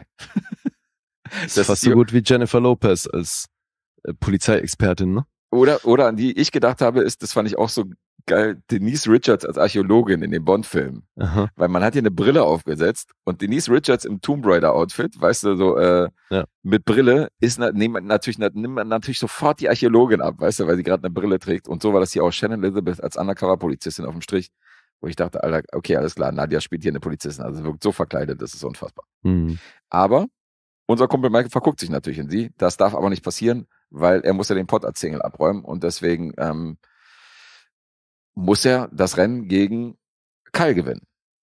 Und deswegen versucht er, seine große Liebe mit dem Player Kyle zu verkuppeln, Mhm. weil er sich sagt, okay, wenn er ihr irgendwie verfällt, dann kriegt er den Pott. Das ist der Plan. Mhm. Aber er muss sich natürlich eifersüchtig mit ansehen, wie die beiden zusammen anwandeln. Und das ist erstmal die Story von dem Film. Ist auch so geil, ne? Als könnte den nicht einfach mit irgendeiner anderen verkuppeln. Weil dann wird die Rechnung ja auch aufgehen, aber ja, Theoretisch schon, ja. warum einfach, wenn es auch kompliziert geht? Ja, und wir haben schon, also bei der Anfangsszene auf der Hochzeit wird schon der, das Humorlevel wird schon irgendwie festgelegt, weil Äh, da werden halt Viagras in die Drinks gemischt und dann siehst Mhm. du halt irgendwie die Best Men, wie die mit dem Ständer halt irgendwie vorne am Altar stehen und sich dann so so zur Seite drehen und dann siehst du halt, dass die alle irgendwie einen Ständer haben und das ist so dieser Haha-Humor. Dann hast du Jake Busey natürlich in diesem super lauten Charakter, der dann irgendwie, wenn er irgendwelche Frauen abschleppt, äh, zieht er halt so die Hosen aus, so weißt du, in einem so einem Riss wie so ein Stripper und dann hat er halt so einen Tanga drunter und äh, streckt halt so den Arsch in diesem Tanga entgegen auf diesem Bett auf allen Vieren und so und das ist so der Humor von Tom Cats. Die guckt mich grad mit einem komplett leeren Blick an. Ich frage mich halt, warum guckst du dir diesen Film an? Das kann doch nicht funktionieren, Alter. Lise. You gross. Cut it out. Nee, ich bin eher fassungslos darüber, dass ich frage mich, ist das jetzt hier eine Strategie? Ist es eng beim Punkteraten Ich wusste doch nicht, Film, ich wusste doch nicht, was das ist. Ich wollte einfach nur Comedy gucken, die irgendwie einigermaßen cool ist, aber war nicht cool. Nee. Mhm. Die Schnitte äh, führen halt immer zu absolut vorhersehbaren Gags. Es gibt halt einen so einen Dialog, wo es heißt so, ja, äh, vielleicht hat sich Kyle ja geändert, weißt du, und dann weißt du genau, okay, jetzt kommt der Schnitt und jetzt sehen wir, wie er abgeht. Und dann gibt es diesen Schnitt und du siehst ihn auf einer Party, wie er so abgeht und zu den Frauen hingeht und hier shakert und der auf den Arsch haut und Mhm. weißt du und so. Äh, also es ist alles super vorhersehbar. Und Jerry O'Connell grimassi grimassiert und stolpert sich hier halt durch den ganzen Film. Du hast so eine, äh, du hast so eine äh, Sadomaso-Bibliothekarin an einer Stelle, die sich natürlich erstmal voll das schüchterne Mäuschen, so eine rothaarige Bibliothekarin. Darf in so einem Film auch nicht fehlen. Nee, darf auch nicht fehlen. Und dann entpuppt sie sich natürlich als komplett äh, Sadomaso-Braut mit ihrer, mit ihrer alten Mutter oder Oma oder was auch immer, die ihr dann assistiert. Hierfür, für die Rolle sprach übrigens Amy Adams vor, um mal wieder Nocturnal Animals zu zitieren. Also sie hat auf jeden Fall eine bessere Karriere gemacht. Okay, wow. Die war beim Casting und hat die für diese Bibliothekarin vorgesprochen. Dakota Fannings Debüt übrigens hier, Tom Cats. Mhm. Die ist auch in einer kleinen Szene zu sehen. Also jedes Klischee wird hier mitgenommen und witzig ist kaum was, sondern es ist wirklich äh, so richtig, richtig haut drauf Humor. Ist so diese zotige, diese zotigen, zotigen Sex-Comedies Anfang der 2000er, gab es ja einige so im- Ja. im Fahrtwasser von American Pie und so, die dann rausgekommen sind. Aber auch ein paar gute. Ein paar gute, ja. Und das ist eine von denen, wo ich sagen würde, die ist zu Recht nicht kultig verehrt. Also Hätt's nicht gebraucht. hätte Ja. es nicht gebraucht, finde ich nicht geil, finde ich nicht lustig. War nicht gut. ja. Irgendwas, was dafür spricht? Ja, so zwei, drei Momente fand ich schon ganz witzig, aber die sind wahrscheinlich jetzt nicht so, finden andere wahrscheinlich nicht so mega witzig. Ich, ich zitiere mal wieder diese Szene bei Jazz Club von Helge Schneider, wo die einfach fünf Minuten so eine Ampel zeigen. völlig, aus dem, völlig aus dem Nichts, Alter. Du lachst jetzt über Helge Schneider und nicht Das- über diesen Film. Nein, oder? aber es gab so einen Film, gab es so bestimmte Momente und da fällt mir halt diese rote Ampel bei Helge Schneider an, wo so fünf Minuten halt einfach nur so ein Auto, was an der Ampel ranfährt, zeigen. Oder bei Wer ist Harry Crump, an diesem, bei diesem John Kenny-Film. Der ist halt vollgepackt mit Witzen. Aber es gibt halt eine Szene, wo der mit so einem Cabrio unter so einem Apfelbaum steht und ein Apfel löst sich halt vom Baum und fällt ihm halt auf den Kopf. Das war nicht unfassbar. Da gibt's halt wesentlich aufwendigere Jokes. Aber Okay. dieser Apfel, ist mehr so für die einfachen Sachen. ich bin für die einfachen Sachen zu haben. Und Mhm. hier gibt es halt eine Szene, wo er irgendwo so reinstolpert und tritt auf so eine Gitarre rauf. What? Ja, Okay. und die Gitarre bleibt halt so an seinem Fuß hängen und er läuft dann mit dieser Gitarre weiter. Und äh, wo er versucht hat, diese Hochzeit irgendwie zu verhindern, weißt du? Das fandst du lustig, ja? Und das fand ich schon ganz lustig, wie der da so reinpottert und, und in diese Gitarre reintritt. So, das war halt so einer der Momente, wo ich gelacht habe, aber äh, andere würden wahrscheinlich an anderen Stellen lachen. Ich drück's mal so aus. Okay. Aber es rettet den Film nicht. Also es waren wirklich nur so zwei, drei Momente, wo ich dann, äh, die ich ganz amüsant finde. Alles andere war komplett überzogen und ist dieser laute Sexhumor, der halt äh, null lustig ist. Also, da, also so eine Filme wie Roadtrip und so weiter sind wirklich dann, die sind verglichen damit absolute Meisterwerke. Ja, ja, Roadtrip ist ja auch ein Highlight. Ja, die fallen da, also das sind dann die guten Beispiele. Ist, also gibt äh, gibt's denn andere Schauwerte? Ist der zumindest irgendwie kurzweilig, weil du permanent Brüste siehst? Oder Ja, der geht 95 Minuten, aber ich meine, so richtig nackte Haut gibt's hier jetzt auch nicht. ach so, das ist wahrscheinlich wieder so eine Rating-Frage, ne? Oder? Weiß jetzt nicht, weil ich glaube, wahrscheinlich 16er Rating oder so wird er haben, denke ich mal. Mhm. Aber ähm, Wenig nackte Haut. Okay. Wenig nackte Haut, aber halt viel Gefluche, zotige Witze. Natürlich gibt's ja diese SM-Jokes und so und äh, Mhm. ja. Und Jack Busey im Tanga halt. Das Das sorgt wahrscheinlich für das Rating, aber ist jetzt nicht so, dass man jetzt hier irgendwie Schauwerte hat. Gut, also die junge Jamie Presley und Shannon Elizabeth sind natürlich schöne Frauen, aber ähm, das rettet dich jetzt auch nicht über den Film. Hm. Schade. Ja. Das Tomcats. Das klingt ja sehr überflüssig alles. Kein großes Highlight, hast du nichts verpasst. IMDb 5,3 und äh, spektakulärer Metascore, Blutrot 15. Uff. Letterboxd 2,2. Boah, okay, aber das ist also 2,2 auf Letterbox, das klingt auf jeden Fall noch recht versöhnlich jetzt verglichen mit dem, was du so sagst. Ja, aber dann 2,2 ist schon, ist schon sehr schlecht. Also, Naja, aber das, Das wären ja vier, viereinhalb Punkte. Ja, umgerechnet, ja gut. Das finde ich halt schon wieder, also es klingt, finde ich, deutlich besser als das, was du jetzt erzählt hast, weil du sagst, es gibt quasi nichts, was dich irgendwie durch den Film gebracht hat. Also ein, zwei lustige Momente, das kann es ja nicht gewesen sein. Mhm. Also wenn du dann bei vier Punkten landest, müssen wir neu verhandeln. Werden wir sehen. Okay. Äh, Also- Hat 11 Millionen gekostet, 23,4 eingespielt. Ich weiß nicht, ob ich das erwähnt habe. Ach so, ja, das hat dann schon immer doch noch funktioniert. Ging ein bisschen was an den Kinokassen, ja. Mhm. Ein paar Bachelors sind da reingerannt. Okay. Na dann rat mal. Zwei. Zweieinhalb. Okay. Nicht so schlecht. 2,5 waren's. Okay. Für Tomcat. Ja, sorry, Mr. Pink. Das war eine Gurke. Aber der holt sich die ja auch wegen irgendwelchen Samples und dann Naja, eben. braucht er die irgendwann nicht mehr. Okay. Ja, Mensch, machen wir doch mit einer Comedy weiter. Ui, hätte. Comedy Special. Total, aber geil. Jetzt haben wir vorhin noch erwähnt, dass im gut, Kino das äh, Comedy-Genre fast ausgestorben Ja, ist. eben. Dann sorgen wir ein bisschen für Ausgleich. Ja. Und jetzt habe ich neulich eine Comedy im Kino gesehen und dann war die noch nicht mal doll. Mhm. Und weißt du noch, was ich da für einen Vergleich gezogen habe? Welche Comedy war das denn? Na, die von Ethan Cohen. Ach so. Äh, ja, Drive Away Dolls. Was für einen Vergleich du gezogen hast. Was so die Tonalität des Films anging. Ich meine, das fühlt sich weniger nach einem Cohen-Film an.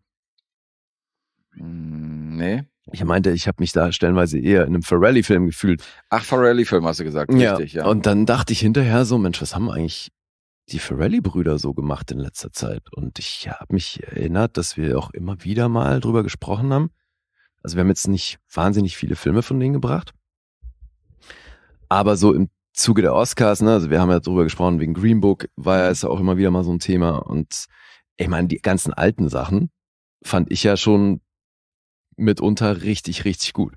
Und deswegen dachte ich, gucke ich mir mal an, was die heute so machen. Und jetzt habe ich mir den neuen Film von Peter Farrelly angeguckt. Mhm. Aus diesem Jahr, also wirklich sehr aktuell. Und er heißt Ricky Stenicki. Okay. Du guckst nicht so, als hättest du schon was davon gehört. Das finde ich sehr gut. Sieben Autoren haben das geschrieben zusammen mit Peter Farrelly. Und ich meine, früher, ich, dir geht's ja wahrscheinlich auch nicht anders. So die alten, das waren ja auch Jim Carrey Sachen dabei. So Me, Myself, Naja, von Nein. Mary natürlich ganz vorne. Verrückt nach Mary. Aber- Kingpin fand ich ja immer großartig. Kingpin war gut, aber die haben auch ein, zwei Filme ge- gemacht, die ich nicht so geil finde. Ich mochte, ja, ja. ich mochte zum Beispiel diesen Unzertrennlich, mochte ich nicht. Weiß nicht, wie Ja. der auf Englisch heißt, mit Matt Damon. Ja, der war schwierig. Und war nicht auch Farrelly-Film, diese eine, wo Gwyneth Paltrow diese eine spielt, die in Jack Blacks Mit Vorstellung? Jack Black? Ja, genau, Nee, Jack ich Blacks- glaube, der war nicht. Bin mir nicht sicher, aber ich glaube nicht. Okay, da bin ich mir auch nicht sicher. Aber Ja. wenn es ein Farrelly-Film ist, dann dem Würde auf ich jeden Fall passen, Das ja. ist so die Schiene, wo ich gesagt habe, da, da nicht so geil. Mhm.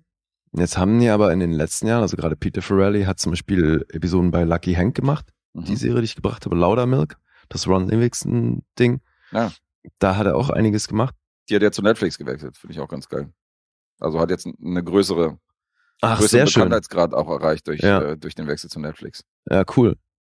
Dann sehen das mal ein paar mehr Leute. Mhm. weil die fand ich schon ganz geil. Ja, und jetzt dieses Jahr eben Ricky Stenicki und auch dieser Film, ähnlich wie Argyle oder deine Filme jetzt oder The Man with Two Brains, äh, eine ziemlich absurde Prämisse.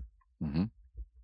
Und mal gucken, wie es hier ausgeht, weil am Anfang sehen wir eine Sequenz, die offensichtlich ein Flashback ist, weil wir sehen drei Jungs, beste Freunde, die an Halloween einen Prank machen wollen. Weil da ist ein Haus, wo sie sagen, ja, werden wir jedes Jahr irgendwie nur abgewiesen, die geben nie Candy raus. Da ist auch so ein riesen NRA-Schild an der Tür, also ganz offensichtlich auch waffenaffine Menschen, die da wohnen. Mhm. Also wollen sie einen Prank spielen. Das ganz klassische Ding, packen Scheiße in eine Papiertüte, legen die vor die Tür und zünden sie an. Und Was dann man so macht. ja, klingeln und freuen sich. Das Problem ist, die klingeln, niemand macht auf, da scheint niemand zu Hause zu sein. Jetzt steht, weil Halloween ist, gibt's neben der Tür ja auch so ein bisschen Verkleidung, äh, also Verzierung, Deko und dann steht da auch so eine Vogelscheuche, die fängt dann ziemlich schnell Feuer und die Jungs versuchen noch irgendwie das Feuer zu löschen. Der eine tritt halt unglücklicherweise schön fett auf die Tüte und ist dann erstmal spritzt halt erstmal Scheiße durch die Gegend. Das ist also die Farrellys halt. das ist das Level, was wir kennen Mhm. und So wollen wir das. vielleicht auch lieben. Naja, jedenfalls fackelt dann die ganze Hütte ab. Hm. Und die Jungs haben halt plötzlich ein Riesenproblem. Der eine von denen denkt sich dann, er hat einen Plan so, weil da ist dann von der einen Verkleidung so, so ein Pulli, der Feuer gefangen hat und dann so verkohlt ist. Und dann schnappen die sich diesen Pulli und schreiben hinten rein, so in Kragen, einen Namen. Damit das so aussieht, als wäre derjenige, der den Brand gelegt hat oder das Haus in Brand gesteckt hat, dieser Typ. Okay. Und dann sagt er halt so ganz schnell, weil die sind ja total unter Druck, weil die Hütte brennt, ne? Und der jetzt vor diesem Pulli Ah. schreibt da drauf, sag mal so, Sag mal sag, sag mal irgendeinen Namen so, Ricky. Alles klar. Sag mal Nachnamen, Stanton. Er so schreibt St- S-T-A, er so, Moment mal, Stanton ist mein Nachname, so, das kann man nicht bringen. Hm. Hat dann aber halt schon Stal geschrieben und dann schreibt er halt Stanicki zu Ende, so. Und so ist Ricky Stanicki geboren.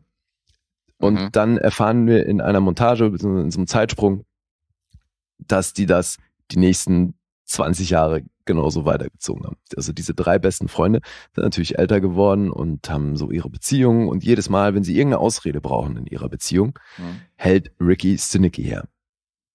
So, ja, Ricky Stinicki hat das und das gemacht und Ricky hat jetzt wieder das gebracht, so, ich muss dem da und da aushelfen und äh, die und die Veranstaltung und so. Und die haben das aber ganz clever, wenn du so willst, aufgezogen, also irgendwo natürlich auch hart, so, weil also Betrug halt wirklich auf einem Level, wo man eigentlich sagen müsste, es ist eine Frechheit, dass da manche von denen sogar verheiratet sind und so. Aber wie auch immer, diese drei besten Freunde haben dann ein Buch, was sie die Bibel nennen, wo sie explizit aufgeschrieben haben, damit es da keine Konflikte gibt, wann Ricky Stinicki als Ausrede zum Einsatz kam. Mhm. Ne? Damit dann nicht plötzlich der eine sagt, ja, ich muss jetzt Ricky Stinicki äh, in Miami aushelfen und dann der andere aber irgendwie, damit das nicht kollidiert ne, mit den Terminen. Damit Okay. dann eine Timeline entsteht, die auch glaubwürdig und nachvollziehbar ist. Damit das auch nicht überstrapaziert wird, das Ganze, damit da niemand Verdacht schöpft. Und so haben sie das jetzt 20 Jahre erfolgreich gemacht. Naja.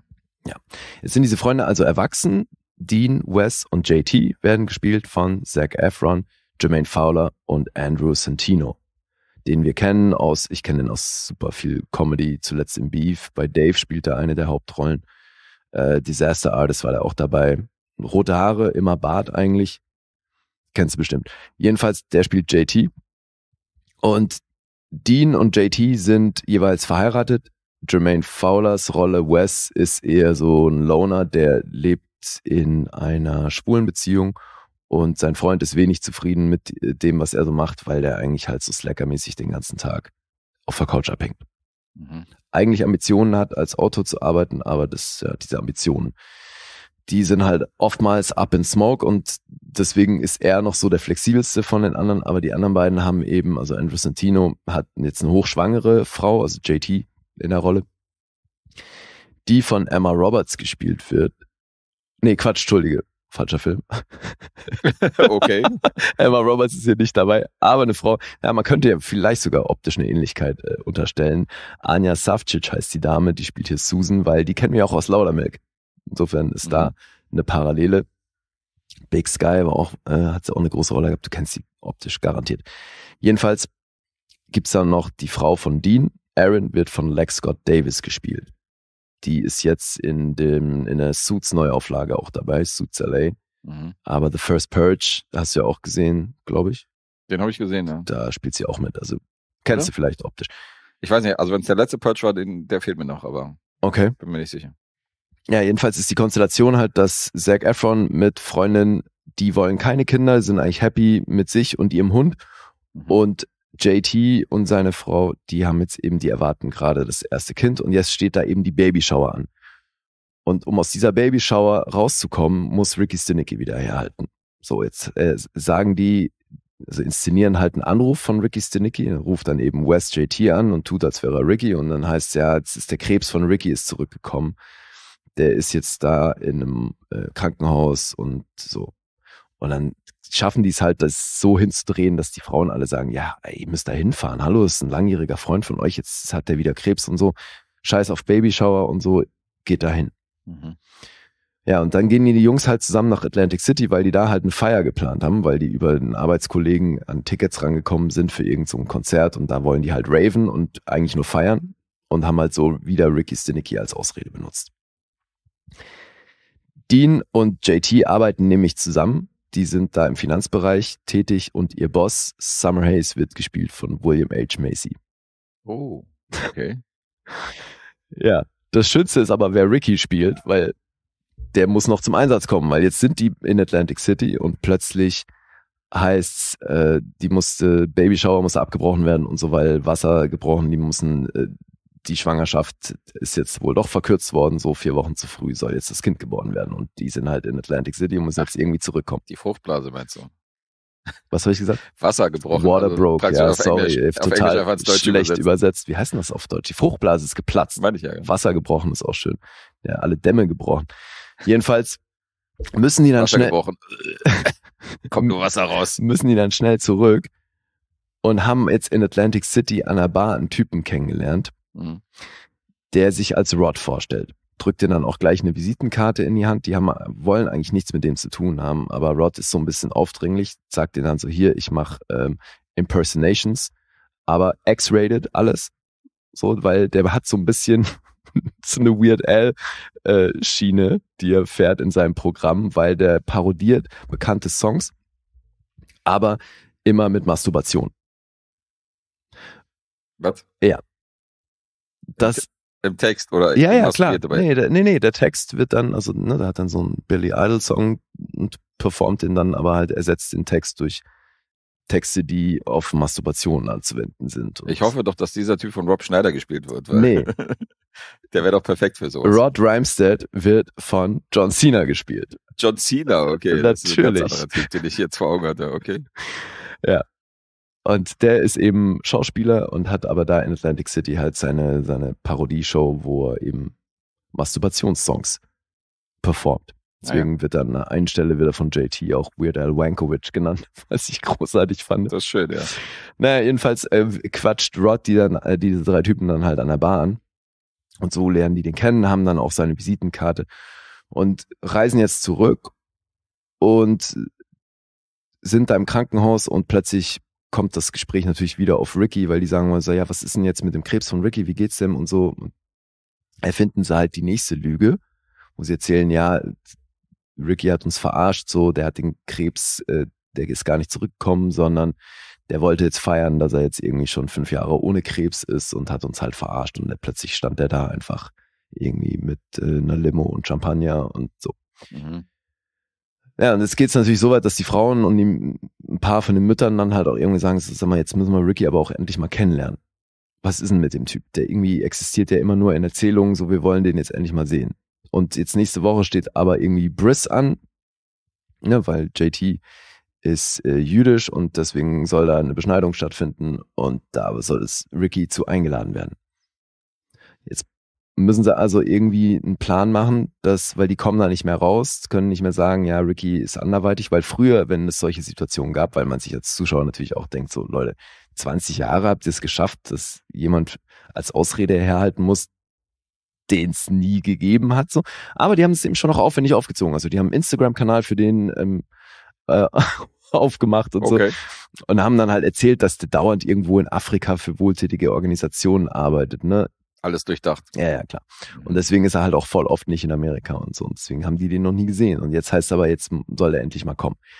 Und jetzt brauchen die also jemanden, der Ricky Stinicki spielt. Mhm. Weil die halt sagen, wir können das Ding nicht auffliegen lassen, weil der, also Wes sagt halt, ne, wir könnten einfach die Wahrheit erzählen. Und dann sagen aber Dean und JT, Alter, unsere Beziehungen sind sofort vorbei, wenn wir jetzt erzählen, dass wir die seit Jahren anlügen. Das Mhm. können wir nicht bringen. Wir brauchen jemanden, der Ricky Stinicki spielt.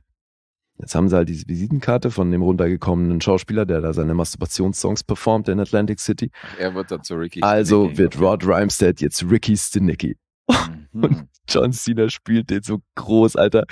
Weil Rod Rhymstead ist nämlich ein Method Actor, okay? Und Ricky Stinicki erzählen sie halt, dass der ähm, Alkoholismus besiegt hat quasi, dass der jetzt irgendwie seit sieben Jahren trockener Alkoholiker ist. Mhm. Und Rod Rhymstead ist aber halt richtig harter Alkoholiker. So, da er aber so ein krasser Method Actor ist, sagt er jetzt, ja gut, egal, Ricky Stinicki ist trocken, also bin ich auch trocken. Logisch. Mhm. Und hat dann aber halt harte Entzugserscheinungen. Und da gibt's auf jeden Fall ein paar echt lustige Momente, Alter. Und äh, ja, das ist auf jeden Fall wieder die Sorte Film von John Cena. Äh, geil bedient, was ich an dem so geil finde, Alter. Der Also, Fanboy. Ey, ohne Scheiß. Äh, John Cena, mittlerweile löst er in mir ähnliche Gefühle aus wie, wie Will Ferrell in manchen Filmen. Oha. Das ist so krass, Alter. Ich finde den so lustig, Mann. Ja, das habe ich schon gemerkt hier. Ja. Ja, also, ähm, ja, geben sie, rufen sie Rod an und sagen, du hast einen Gig. Du musst jetzt hier für, für diese Feier einmalig Ricky Stinicki spielen. Hm. Also kommt er an, ganz der Method Actor, hat sich dann noch so ein kleines Safari-Outfit zugelegt, weil die ja gerade erzählen, dass er gerade aus Nairobi kam, von wieder irgendeiner wohltätigen Sache.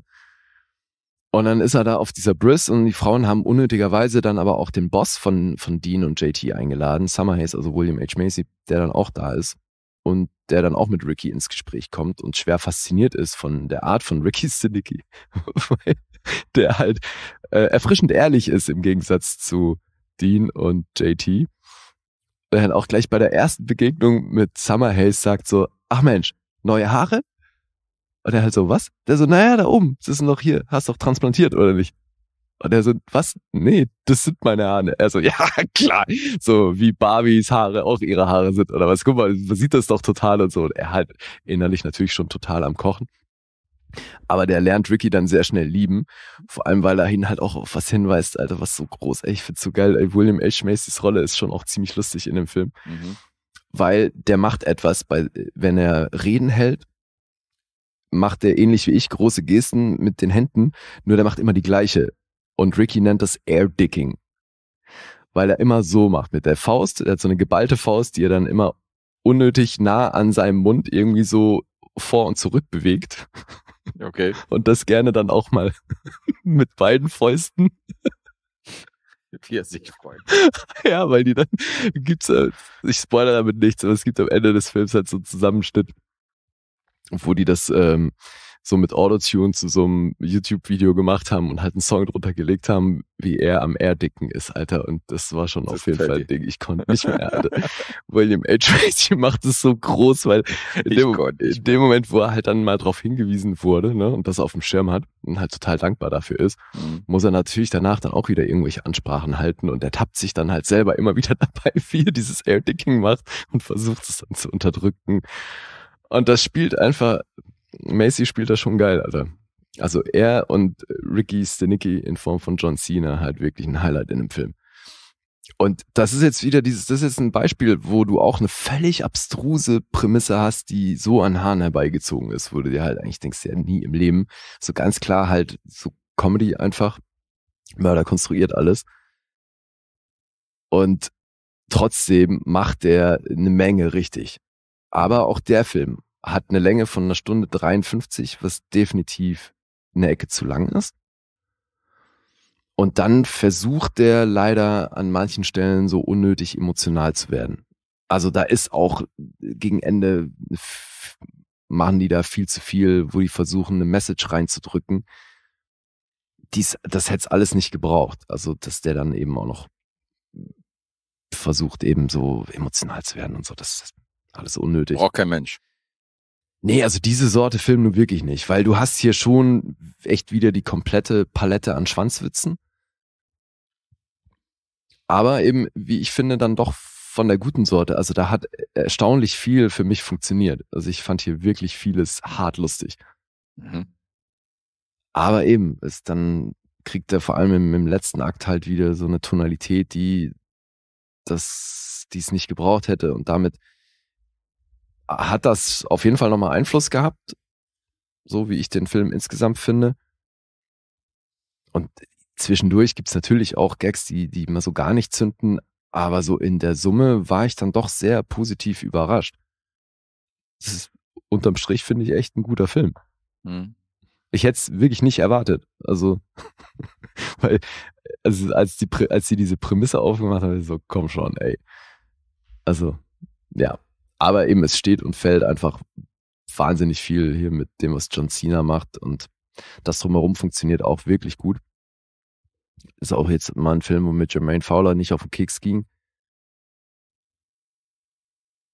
Und so funktioniert dann eben selbst so eine völlig konstruierte Prämisse. Und jetzt mal so Hinter den Kulissen finde ich das ganz schön krass, weil ich habe gelesen, dass dieser Film schon 2010 das erste Mal angekündigt wurde. Okay. Damals sollte James Franco Ricky Stenicki spielen. Mhm. Ja, und dann gab es da aber wie üblich irgendwelche Terminprobleme. Dann war James Franco raus. Und jetzt gibt er das, wer nachgerückt ist. Joaquin Phoenix Was? sollte dann Ricky Stenicki spielen. Auf den wäre ich nicht gekommen. Dann wurde es wieder verschoben bis 2013. Dann war Phoenix raus. Und Jim Carrey ist eingesprungen. Okay. Dann hat es wieder ein Jahr gedauert. Jim Carrey die ganze Zeit noch auf dem Projekt mit drauf. Dann ging es zeitlich nicht mehr. Und dann ist Nicolas Cage nachgerückt. Alter, was? Alter, die hätte ich halt alle einzeln gerne in dieser Figur gesehen. Also können wir bitte noch ähm, einfach. Ricky Stenicki mehrfach machen und es einfach immer nur die Rolle austauschen, Alter? Ich fänd's grandios. Ja, weil, also Nicolas Cage hat sich dann halt gedacht, geil, das ist voll eine gute Möglichkeit, jetzt auch mal zu zeigen, dass ich ja früher auch Comedy gemacht habe. So, Hm. ne, man könnte wieder mal wieder diese Schiene bedienen. Ja, und ähm, dann war aber das Problem, als Nicolas Cage auf dem Projekt war, haben natürlich die Finanziers des Films, weil das wie so oft, ne, beim Film der Größenordnung hast, musst du dann halt das Geld von sonst woher besorgen. Und dann gab es eben internationale Finanziers, die halt gesagt haben, Moment mal, wenn da Nicolas Cage mit bei ist, dann brauchen wir Action. Weil dann müssen wir das als Nicolas Cage-Film bewerben. Hm. So, und dann wollen die Leute halt irgendwie Action sehen. Naja, und da hatte dann natürlich Nicolas Cage keinen Bock mehr drauf, weil der das ja für sich irgendwie als Chance gesehen hat, endlich mal wieder Comedy zu machen. Und ja, wollte eben nicht das gleiche machen wie sonst. Genau. So, und dann ist das also in die Brüche gegangen und hat dann bis 21 gedauert, als Zac Efron dann eben auf das Skript aufmerksam wurde und Mhm. dann in Kombination mit Amazon sich da wieder rangetraut hat. Und schlussendlich haben sie dann John Cena besetzt als Ricky Stenicki. Ja, Zac Efron hatte kein Problem mit Comedies. Da hat er schon Ja. in sehr vielen mitgemacht. Bad Neighbors und Co. Ja, eben. Baywatch. Ja, Alles Mögliche. naja. Auch nicht immer gut. Jetzt hat er mit Dwayne The Rock Johnson und mit John Cena gedreht. Mensch. Er hat sie beide gehabt. Super. Ja, für seine Bucketlist vielleicht auch nicht schlecht. Alright, ja, so viel zu Ricky Stenicki. Mhm. Wie gesagt, unterm Strich war ich positiv überrascht. Ich hätte es nicht gedacht.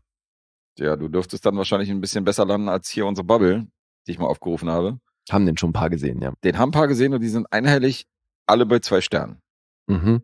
Also hier, unser Kumpel Tom hier von, äh, von Bullets and Fists zwei Sterne, Atom Bomb ist bei zwei Sternen, Kalle ist bei zwei Sternen, Zero ist bei zwei Sternen. Mhm. Die sind sich alle sehr einig. Da können wir für die auf jeden Fall klingeln, aber ich fürchte, du wirst dich da nicht einreihen. Also, auch da, ne, ich kann es nachvollziehen, Mhm. wenn du halt sagst, ja, okay, es ist einfach eine Humorschiene, so, das ist mir zu platt, das ist alles nichts. Aber, Hoffe, Hoffi, dein Podcast äh, Seelenverwandter, der hat den noch auf seiner Watchlist. Insofern Ah, gucken ja. wir mal, ob du mit dem vielleicht auf einer Welle ja, bist. siehst du, und ich glaube, ja sehr oft einig. es gibt ja, soweit ich weiß, ist Dennis auch John Cena-Fan in, Mhm. in Comedies. Glaube auch. oder findet den auch lustig und dann musst du den auf jeden Fall sehen, ey, weil, also wenn man eben John Cena witzig findet, dann ist das, ist das irgendwie ein guter Film. Ich bin nicht ganz auf diesem Hype-Train, aber also ich finde ihn schon auch ganz amüsant und witzig, aber so, hey, absolutes Highlight auf der Oscarverleihung, ja, jetzt kommt mal runter, so, weißt du, also klar, das was sagen witzig. Leute, oder was? Ja, ja, klar, was witzig und so, aber ähm, Ja, absolutes Highlight ist. Ich glaube, das absolute, um von einem absoluten Highlight auf einer Oscarverleihung zu sprechen, da weiß ich nicht, ob das in diesem Jahrtausend schon stattgefunden hat. Das, das war's halt für viele.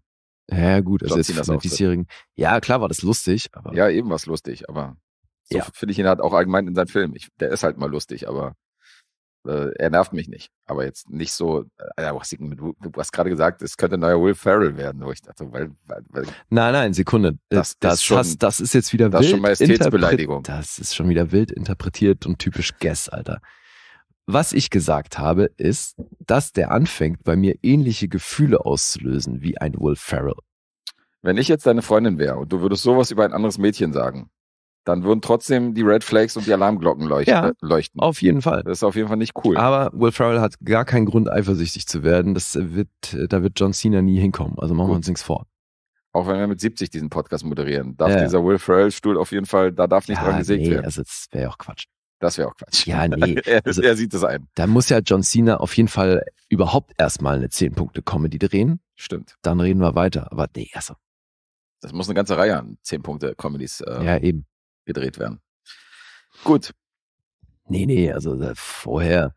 Überleg mal, also jetzt mal rein, wenn es um 10 Punkte Comedies geht, da würde ich eher, da ist wahrscheinlich direkt dahinter eher jemand wie Jim Carrey. Hm? Also, nee, nee, also davon ist John Cena wirklich weit entfernt. Keine Sorge. Aber eben, es ist, ist irgendwie, wenn jetzt solche Comedies kommen und ich mir das angucke, dann merke ich einfach so, ich freue mich allein schon, seine Fresse zu sehen in solchen Filmen. Hm. Weil eben Da geht die was so- Sonne auf. Ja, ist einfach so ein Erfahrungswert. Irgendwie fand den halt schon echt oft witzig. So, jetzt aber die anderen Punkte. Und ja, da geht's nicht nur den Leuten aus unserer Bubble so. Das sieht die Kritik nämlich relativ ähnlich. Also IMDb ist noch verhalten mit 6,2. Metascore ist bei 44. Ich war bei 15 mit Tom Cats. Also Ja. ich dachte, äh, den wirst du wahrscheinlich nicht toppen. Ja, siehst du? Das ist doch noch richtig gut dann mit 44. Ja, Ja. Letterboxd im Schnitt halt eine 2,7. Mhm. Aber ein paar Fans gibt's. So, jetzt darfst du raten. Ja, 49 laut Letterboxd. okay, ähm, Fast 49. na, du kannst auch Fan werden von, von bestimmten Filmen. Ach, wirklich? Ja, ja, das geht auch. Und das wird ja hier bei, neben den Ratings wird ja angezeigt, wie viele Fans davon am Start sind. Und da steht halt 49. Es gibt ja immer neue Sachen. Ach, Ähm, tatsächlich, ja. Was immer das bedeutet. Ich habe, glaube ich, noch nie irgendwie. 49 Fans hat dieser Film. Und 66.000 haben ihn gesehen. Also, das ist schon eine, Das ist eine dünne Quote, Menge. schon wirklich eine dünne Quote. nee, also als Fan würde ich mich hier jetzt auch noch nicht bezeichnen. Wo steht das überhaupt? Wo kann man denn Fan überhaupt ankreuzen? Weiß ich gar nicht. Weil das muss man ja, ich muss ja auch irgendwie Fan werden können. Ja, Vielleicht beim Raiden? Nee. Keine Ahnung. Review Log. Film- Nee. Ach so, vielleicht bist du Fan, wenn du das Herz an, äh, ankreuzt. Ach so. Dann wirst du vielleicht ein Fan. Nee, aber dann, nee, das sind ja 13.000, die hier ein Herz gegeben haben. Das Mhm. ist es auch nicht. Klärt uns auf, ihr Letterbox-Dudes. Wie Ja. wird man Fan von bestimmten Filmen, was hier steht? Ja, das weiß doch der Azubi garantiert. Der Azubi weiß das doch bestimmt, ja. Er ist doch Letterbox ja, studiert. aber du als zahlender Patron von Letterboxd, dass du das nicht weißt. Das nee, das weiß ich tatsächlich nicht. Hm. Aber ich äh, nutze ja auch die Herzfunktion nicht, insofern. Ja, Das ja. interessiert mich nicht. Mhm. mhm. Ähm, Ja, siehst du, ich habe gerade gesehen, Nocturnal Animals hat bei mir ein Herz. hat ein Herz bekommen. Anscheinend. Na gut. Ricky Stinicki nicht. Ich habe kein Herz. ähm, ich sag eine 8. Nee, sieben. Ach, verdammt, ich wollte 7,5 sagen. Shit. Acht war zu hoch. Also Naja, gut. Warst ja doch recht überschwänglich. Ich dachte, vielleicht ist, äh, du bist ja bei Comedies immer. Ich bilde mir ein, dass ich das noch ordentlich relativiert habe. Also, Also aber ein bisschen gut, hast du ja, relativiert. nicht. Ich wollte 7,5 sagen, aber hab dann, äh, hab, hab ja auch schon ein paar Mal zu tief gestapelt. ach, dachte ja, aber siehst du, das drauf. war jetzt auch so was, ich war auch, glaube ich, schon zwischenzeitlich bei 7,5 bei dem Film. So ist irgendwie irgendwo in dem Bereich, auf jeden Fall. Mhm. Aber also vier ist schon hart. Ey. ja, ja. Also, weil der ist wirklich lustig stellenweise. Alter, William H. Macy, Mann. Das ist halt auch, finde ich, der hat so geile Filme gedreht und man vergisst so ein bisschen, wie gut der auch in Comedy ist. Ja, der ist super. Also, das ist spätestens, wenn man, wenn man ihn in Shameless gesehen hat, weiß man auch, dass er Comedy-Talent hat. Ja, eben. Also, Aber irgendwie geht das so unter, wenn man über ihn spricht, finde ich. mhm. So, alright. so viel zu Ricky Stinicki. Und jetzt müssen wir wieder raten, weil jetzt haben wir noch einen gemeinsamen Film. Ja. Und der kam von Ju, Der kam von Ju, richtig. wenn ich das richtig in Erinnerung habe. Sehr gut. Und ähm, Jetzt- hast du richtig genau. Ja, jetzt darfst du einen Tipp raushauen. Dann tippe ich auf Für eine. The Quiet haben wir noch nicht erwähnt, ne? Ja, genau, The Quiet. Kannst du ein Geheimnis für dich behalten? Heißt, heißt der Untertitel. Ja. Horror-Drama. Okay. Crime-Drama, oder? Horror? Bei Google steht Horror-Drama. Aha. Bei IMDb steht Crime. Mhm. Das ist also Crime, Horror und Drama. Wir haben Crime, alles, Drama, alles hier mit drin. Thriller auch noch. Thriller, Mhm. alles mit bei. Wo ist er hier? hier ist er. Ein Krimi ist ein Dreck dagegen. Äh, ich tippe auf eine zwei. Bam! okay. Bada boom, Aber bada das ist witzig, weil ich sehe dich bei zweieinhalb. Geil. Das, das fanden wir anscheinend äh, hier richtig berühmt. Ja, The Schau Quiet. mal. Kannst du ein Geheimnis für dich behalten? Ja, also recht low budgetierter Film mit 900.000 geschätztem Budget. Mhm. Ja, die sieht man. Oder also sieht man halt, dass das nicht viel gekostet hat eher. Ja. Das sieht man tatsächlich. Ja, hast du Feedback eingeholt von Ju, was diesen Film angeht? Warum, warum es dieser geworden ist, was sie sich dabei gedacht hat? Nee, ich weiß noch, dass ich ihn die ganze Zeit verwechselt habe, weil äh, auch wieder diese Patreon-Diskussion äh, und zwar mit dem Losfilm, den sie reingeschmissen hat, weil das war nämlich ein dänisches Liebesdrama oder irgendwie, keine Ahnung, irgendwie so ein, so ein dänischer Film und den habe ich jetzt, ich dachte, The Quiet wäre dieser besagte dänische Film. Das Ah. war allerdings der Film, den wir in den Lostopf geschmissen haben. Okay. Und Fabs hat mich nur einmal korrigiert, meinte so, das ist nicht der dänische Film. Mhm. Aber äh, ich glaube, es wurde nicht allzu viel darüber gesagt. Es hieß einfach nur The Quiet Girl, Auftragsfilm von Ju.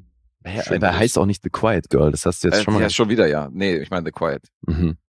Ja, weil ich hatte schon auch beim Gucken zweimal die Frage im Kopf, sag mal, gucke ich mir gerade den richtigen Film an? Habe ich mich auch gefragt tatsächlich. Ich war irgendwie so, meinst du das ernst? Also, hä? Ich hatte wirklich Angst, dass ich mir gerade den falschen Film unnötigerweise angucke. Ja gut, Geschmäcker sind ja verschieden und so. Das kann Ja, ja, ja. sein, dass manche vielleicht äh, in Filmen anders sehen als wir, aber ähm, Bestimmt. Äh, logisch. Aber es ist halt der Gedanke, der aufkam. Aber wir haben dann offenbar das Gleiche und das Richtige geguckt. The Quiet aus dem Jahr 2005. zumindest haben wir beide das gleiche geguckt. Ob es jetzt das richtig das werden wir dann rausfinden, aber das ist der Film, den wir jetzt gesehen haben. Ja, Regisseurin Jamie Babbitt. Mhm. 79 Credits und hat sehr viel Fernsehen gemacht. Also eine Menge Serien, die wir lieben. Auch, ey, also fünf Emmy-Nominierungen bringt die schon zusammen Mhm. und hat er wirklich viele, viele Serien gemacht. Aber auch schon immer gerne nur so ein, zwei Episoden und dann ja, ja. Aber schon wirklich next. geiles Zeug dabei, also so eine Ja. Tacke und so, schon, schon Anfang 2000, also Ja, ja. lange. Und filmmäßig hat die dann eher so Independent-Filme gemacht. Das sieht man ja vielleicht auch an dem Budget dieses Films.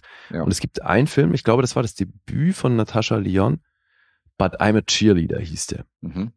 Und da weiß ich tatsächlich von ein paar Leuten, die von dem recht viel halten, weil der wohl dann doch in einer gewissen Community so ein bisschen seinen Stempel hinterlassen hat. In der Cheerleader-Community. Nein, sondern es ist sowieso wie, also es gibt auch in diesem Film so eine Komponente, aber die Stoffe von Jamie Babbitt, die sind oft lesbisch. Mhm. Also es geht oft um lesbische Inhalte. Und es gibt noch einen Film, von dem habe ich nämlich auch schon mal gehört und den will ich tatsächlich irgendwann nochmal sehen. Den kenne ich nicht. Itty Bitty Titty Comedy. Was zur Hölle, Alter. So ist der Hast du noch nie gehört? Nee. Okay. Witzig. Mhm. Genießt so in gewissen Kreisen auch ein bisschen Kultstatus. Aber eben alles so Independent-Geschichten.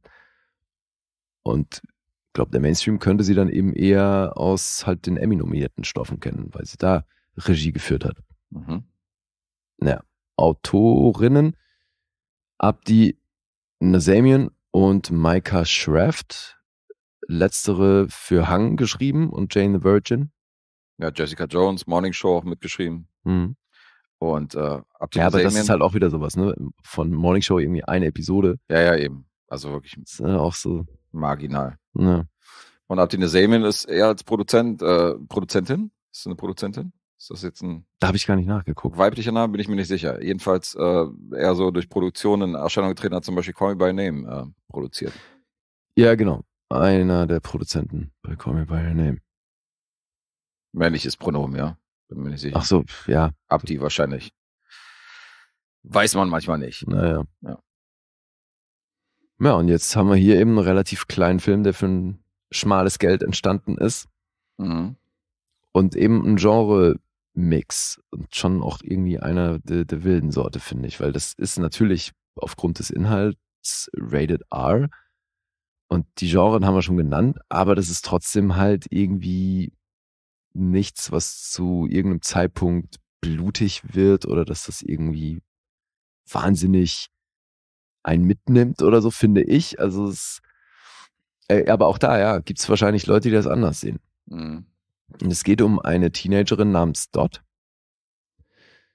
Die ist die Hauptfigur und Dot ist seit kurzem ohne Mutter, weil der, der, ja, die ist vor kurzem gestorben. Der Vater ist also verwitwet. Ach Quatsch, andersrum. Die Mutter ist länger gestorben und äh, jetzt ist der vor kurzem eben auch der Vater gestorben. Mhm. So rum. Und zu dem Vater hatte sie halt eine sehr enge Bindung. Und Clou an der Sache ist, dass sie gehörlos ist. Dort kann also nichts hören und hat sich irgendwie dann auch entschieden, nicht zu sprechen.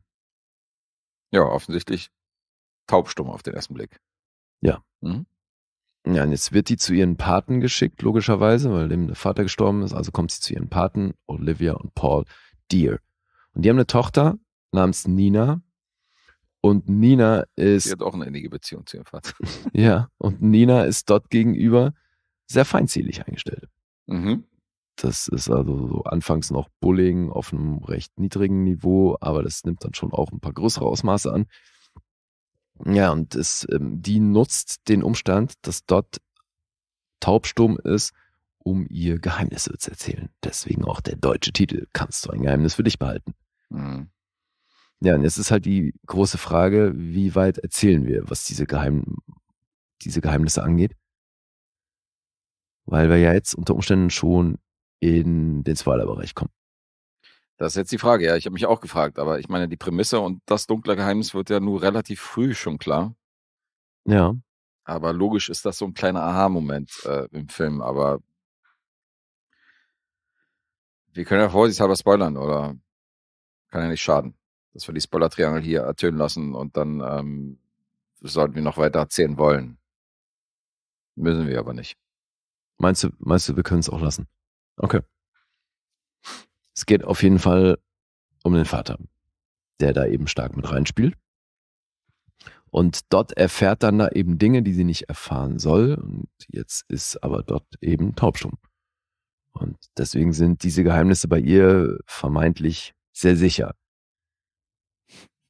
Vermeintlich. Naja, denkt Nina halt, ne, dass, dass, dass, ja, dass die ja quasi nichts ausplaudern kann, wo ich mir auch denke, na gut, sie kann es ja anscheinend auch nicht hören.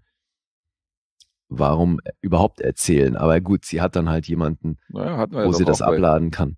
Hatten wir doch auch bei ähm, Sleep Tight, dass er sich bei der bei der Mutter, die im Koma liegt, äh, ausschüttet, weil er halt das Bedürfnis hat, das trotzdem jemandem zu erzählen, was er da so, Mhm. was er so macht. Ja. Und am besten jemand, äh, der, bei dem das keine Konsequenzen haben wird. Mhm. Das ist halt wie so ein Tagebuch. Ja, Mhm. zur Besetzung können wir sagen, dass dort von Kim Bell gespielt wird. Mhm. Hattest du, ne, in 10.000 BC? Ja, meine erste Blu-ray. Hätte ich natürlich null zuordnen können, dass sie da mit dabei war, aber ja, war, war da wohl Ja. die weibliche Hauptrolle. Mhm. Ja, Alicia Cuthbert, die spielt Nina Deer. Die kennen wir aus vielen anderen Sachen. Also wir hatten ja mal Love Actually, hat jemand mitgebracht, ne? aber die hat halt auch wirklich viele B-Movies gemacht und also ich habe auf jeden Fall schon ein paar Sachen aus Ich weiß nicht, Vita gesehen. Ob du The Girl Next Door zum Beispiel kennst, weil den mag, Ja. ich, den mag ich mit dir gerne, so Mhm. mit Timothy Olyphant, wo sie diesen Pornostar spielt. Also Ja. Den finde ich tatsächlich, ist so ein kleiner Guilty Pleasure-Film von mir. Mhm. Und in erster Linie kenne ich sie natürlich als, als Tochter von Jack Bauer, von Kiefer Sutherland in 24. Ja, Das 24, war ja, ja. das war ja so ihr Durchbruch. Mhm. Ja, da war sie natürlich schon noch deutlich jünger, ne? Wobei, nee, der Film ist ja hier von Ah. 2005. Ja. Ja, war so zur ähnlichen Zeit. Mhm. Ja, der Vater wird äh, von Martin Donovan gespielt. Der hat auch schon eine ganze Menge gemacht mit seinen 122 Credits, also auch viel Serie. Du kennst ihn wahrscheinlich aus Weeds, ne? Ja, ich kenne aus Weeds als DA-Agent, ja. Ja, Big Little Lies. Bei Tenet war er auch dabei und die Mutter Olivia wird von Edie Falco gespielt. Und jetzt halt ich auch nicht unbekannt. die beiden spielen in Trust mit, den ich schon gesehen habe. Ach, In dem Auftragsfilm, den wir auch noch hier aus, ausstehen haben, da habe ich nämlich reingeguckt und dachte so, Alter, krass, Martin Donovan und Edie Falco wieder dabei. okay, ist ja abgefahren. Voll krass. Zwei Auftragsfilme in diesem Monat. Mhm. Ähnlicher Cast. Ja, und dann gibt's einen Love Interest namens Connor, der wird von Sean Ashmore gespielt. Das ist hier Iceman in der X-Men-Reihe. Mhm. Und ihre beste Freundin, also Ninas beste Freundin Michelle, wird von Katie Mixon gespielt. Ich hoffe doch, da wird jetzt Danny McBride. Alter, und das ist so krass beim Gucken. Ich bin nicht drum rumgekommen. Ich hab's so lustig gefunden, weil ich so an ihre Rolle an Eastbound and Down denken musste. Klar, Ja, Das Love Interest. aber die ist ja schon auch eh relativ groß geworden dann hinten raus, ne? Weil Mike and Molly war ja schon. Nein, das war kein Fat-Shaming-Witz. Aber bei Kein, Mike, kein Freiwilliger, aber es war okay, einer. aber bei Mike and Molly ist sie ja dann wirklich auch einem sehr großen Mainstream-Publikum bekannt geworden. Wie er versucht, so um den heißen Brei zu reden, Alter. Richtig gut. Ja, aber das Objekt bei der Begierde bei Eastbound and Down und das ist schon auf jeden Fall was, das ist so bei mir hängen geblieben, Alter. Ja, total. Und das hier war ja ihr zweiter Credit. Ne? Okay. Also das Ganze das war ja alles danach und das ist halt echt ein sehr frühes Ding, wo sie hier mitgespielt hat. Aber es ist so krass, ey. Ich sehe die und ich war sofort bei Eastbound and Down, Mhm. wo sie diese Lehrerin spielt. Ja, schön. So, jetzt, wie fandst du das Ganze? Schlimm fand ich das. Okay, ich bin beruhigt. Ja. Sehr, sehr schlimm. Also angefangen mit der Optik, die mich so an Degrassi Junior High erinnert, so Ende, Ende 80er, Anfang 90er oder so, so Mhm. halt diese Hallmark-Movies, damit kannst du auch vergleichen. Ja. So eine ganz billige Optik. Mhm. Und wenn ich die Schauspieler nicht aus anderen Filmen kennen würde, passen die da auch super rein. Also Edie Falco hat natürlich schauspielerisch wieder so ein bisschen mehr aufgefahren als die anderen, würde ich sagen. Aber ansonsten, Alter, ist das wirklich, das ist so wie so ein, Naja, sie hat zwar mehr aufgefahren, aber das wirkte für mich trotzdem sehr deplatziert. Das hat aber mit der Inszenierung zu tun. ja, ja, klar. Das war irgendwie, das war nichts. Okay.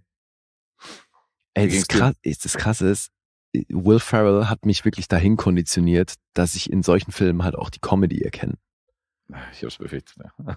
Und ich hatte hier wirklich ein paar Momente, wo ich laut losgelacht habe, Alter, weil ich das so witzig fand, So unfreiwillig. dass sie das so gemacht haben, dass das so inszeniert wurde und dass dann selbst für so ein Budget, dass trotzdem müssen da Leute Ja zugesagt haben und gesagt haben, ja geil, genau so machen wir's. Mhm. Das ist mittlerweile sorgt das bei mir wirklich für den einen oder anderen Lacher.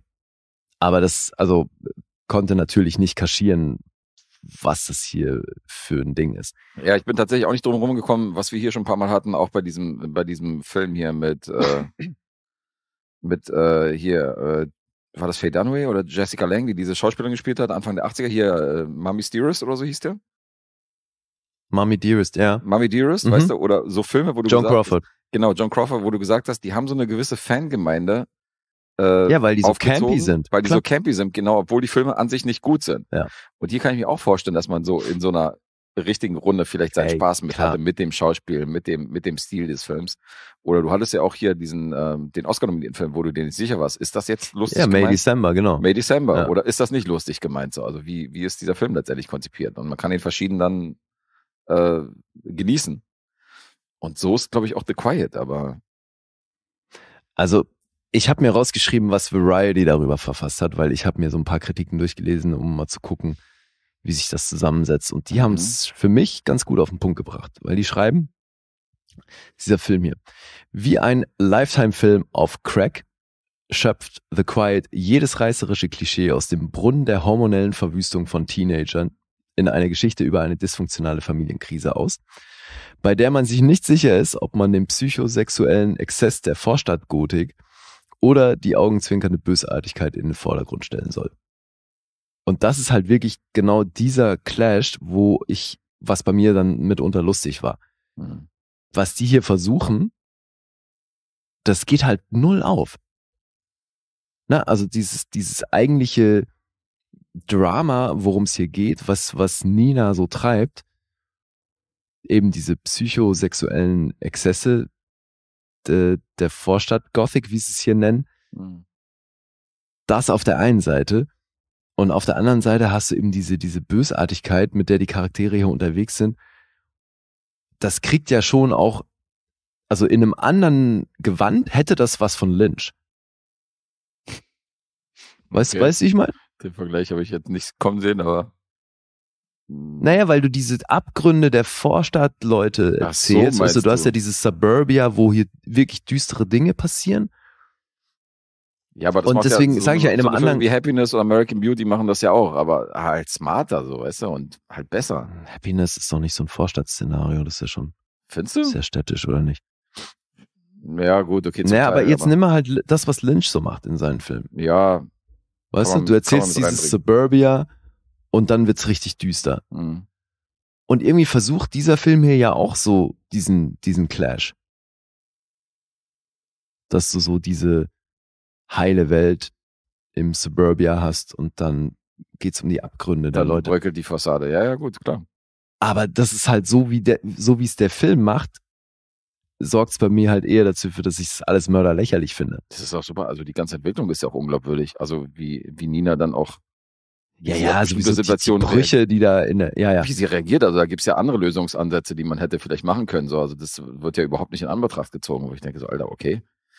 Also es ist ein komischer Film, hä? Total. Ja. Und deswegen, ja, ich fand den auch Mörder schlecht, aber ich hatte eben den ein oder anderen Lacher zwischendurch. Durch die unfreiwillige Komik bist Ja. du ein bisschen durchgekommen. Auch nicht schlecht. Weil es halt wirklich, also dieses Lifetime-Film auf Crack, das trifft's halt. Und das sorgt bei mir für den einen oder anderen Lacher. Mhm.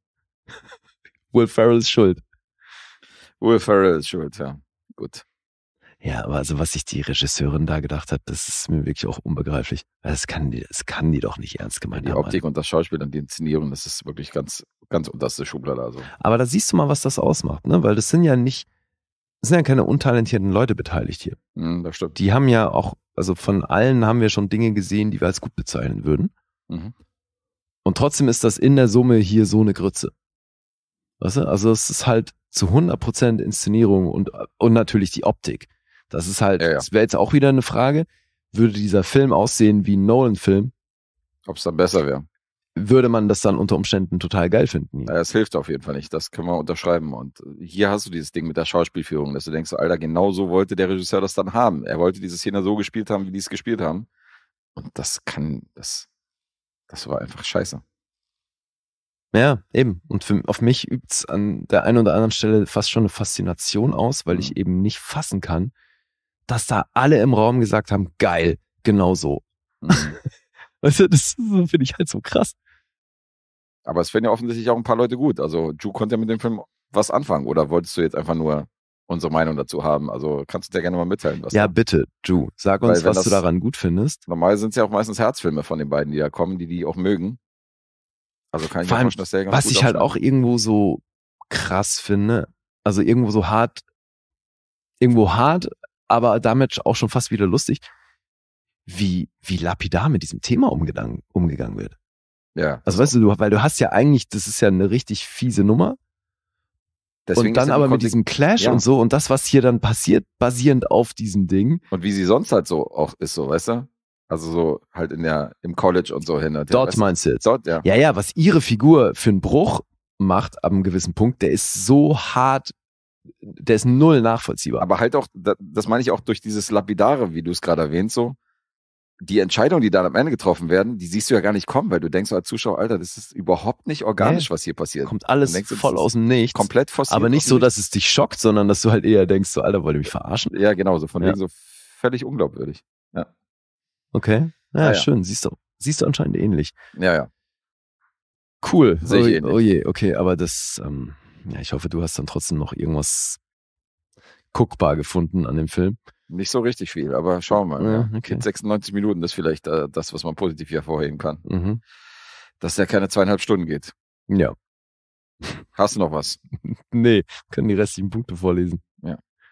6,1 sind auf IMDb, der Metascore ist bei 29, das zieht sich heute Zieht auch so ein bisschen durch durch. die ganze Episode, Alter. Ganz Und- schlimme Metascores. Ja.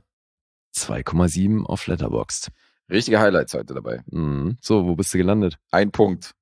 Ein Punkt. Das heißt, ich bin anderthalb daneben. Wo bist du da gelandet? Ich bin noch bei vier. du bist bei vier. Ja, Mikro, Alter, wie gesagt, ich habe ich hab stellenweise wirklich gelacht, gezogen, Alter, Alter. weil ich hier gelacht habe. Als Comedy hat's für dich funktioniert. Ja. Ja. Boah, ich dachte, das macht vielleicht einen halben Punkt aus oder so bei dir, Alter. Vier. Nee, ich hatte bestimmt fünf Was Szenen, zum wo ich Alter? laut losgelacht habe. Okay. ja, gut, whatever works, ey. Ja. Ich weiß nicht, ob das so äh, konzipiert war von den, von den Supportern. Nein, aber- garantiert nicht. Und wie gesagt, da ist auch nur ein Typ dran schuld. Und ähm, aber so hatte ich halt zumindest ein bisschen Spaß mit dem Film, weil es also ansonsten wäre das ein Null-Punkte-Film. Okay. Dann bist du schon in meiner Region unterm Strich, wenn es jetzt nicht diese unfreiwillige Komik gäbe. Und du bist jetzt, was, du warst bei einem, ne? Hast du gesagt? Ja, ich war bei Ja. einem Punkt. Ja. Das war kein Highlight.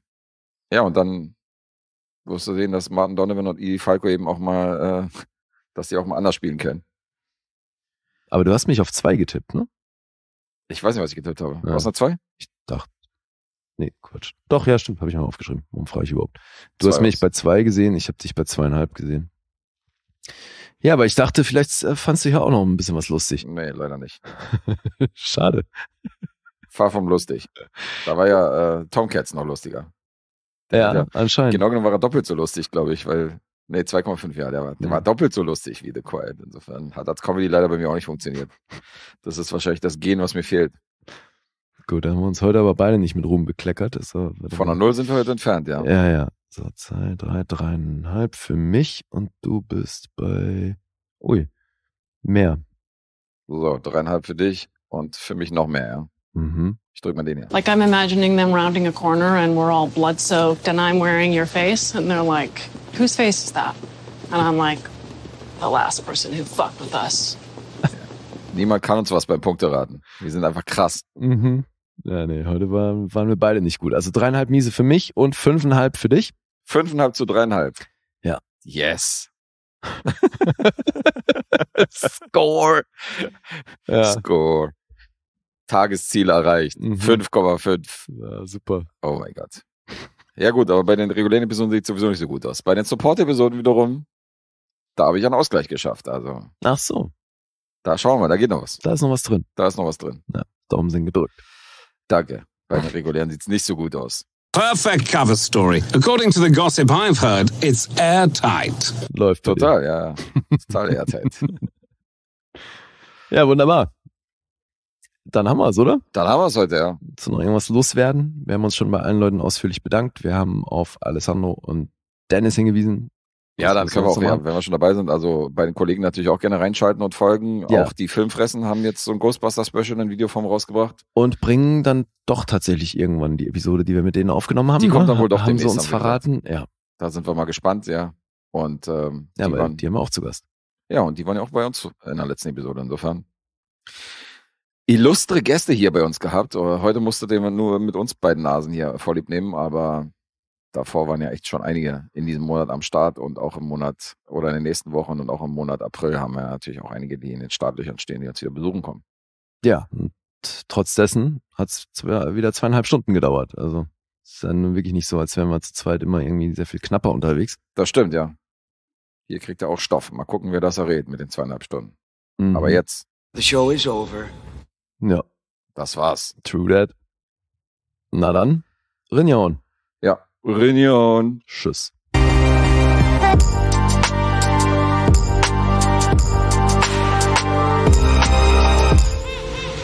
Bewegt Bild Banausen.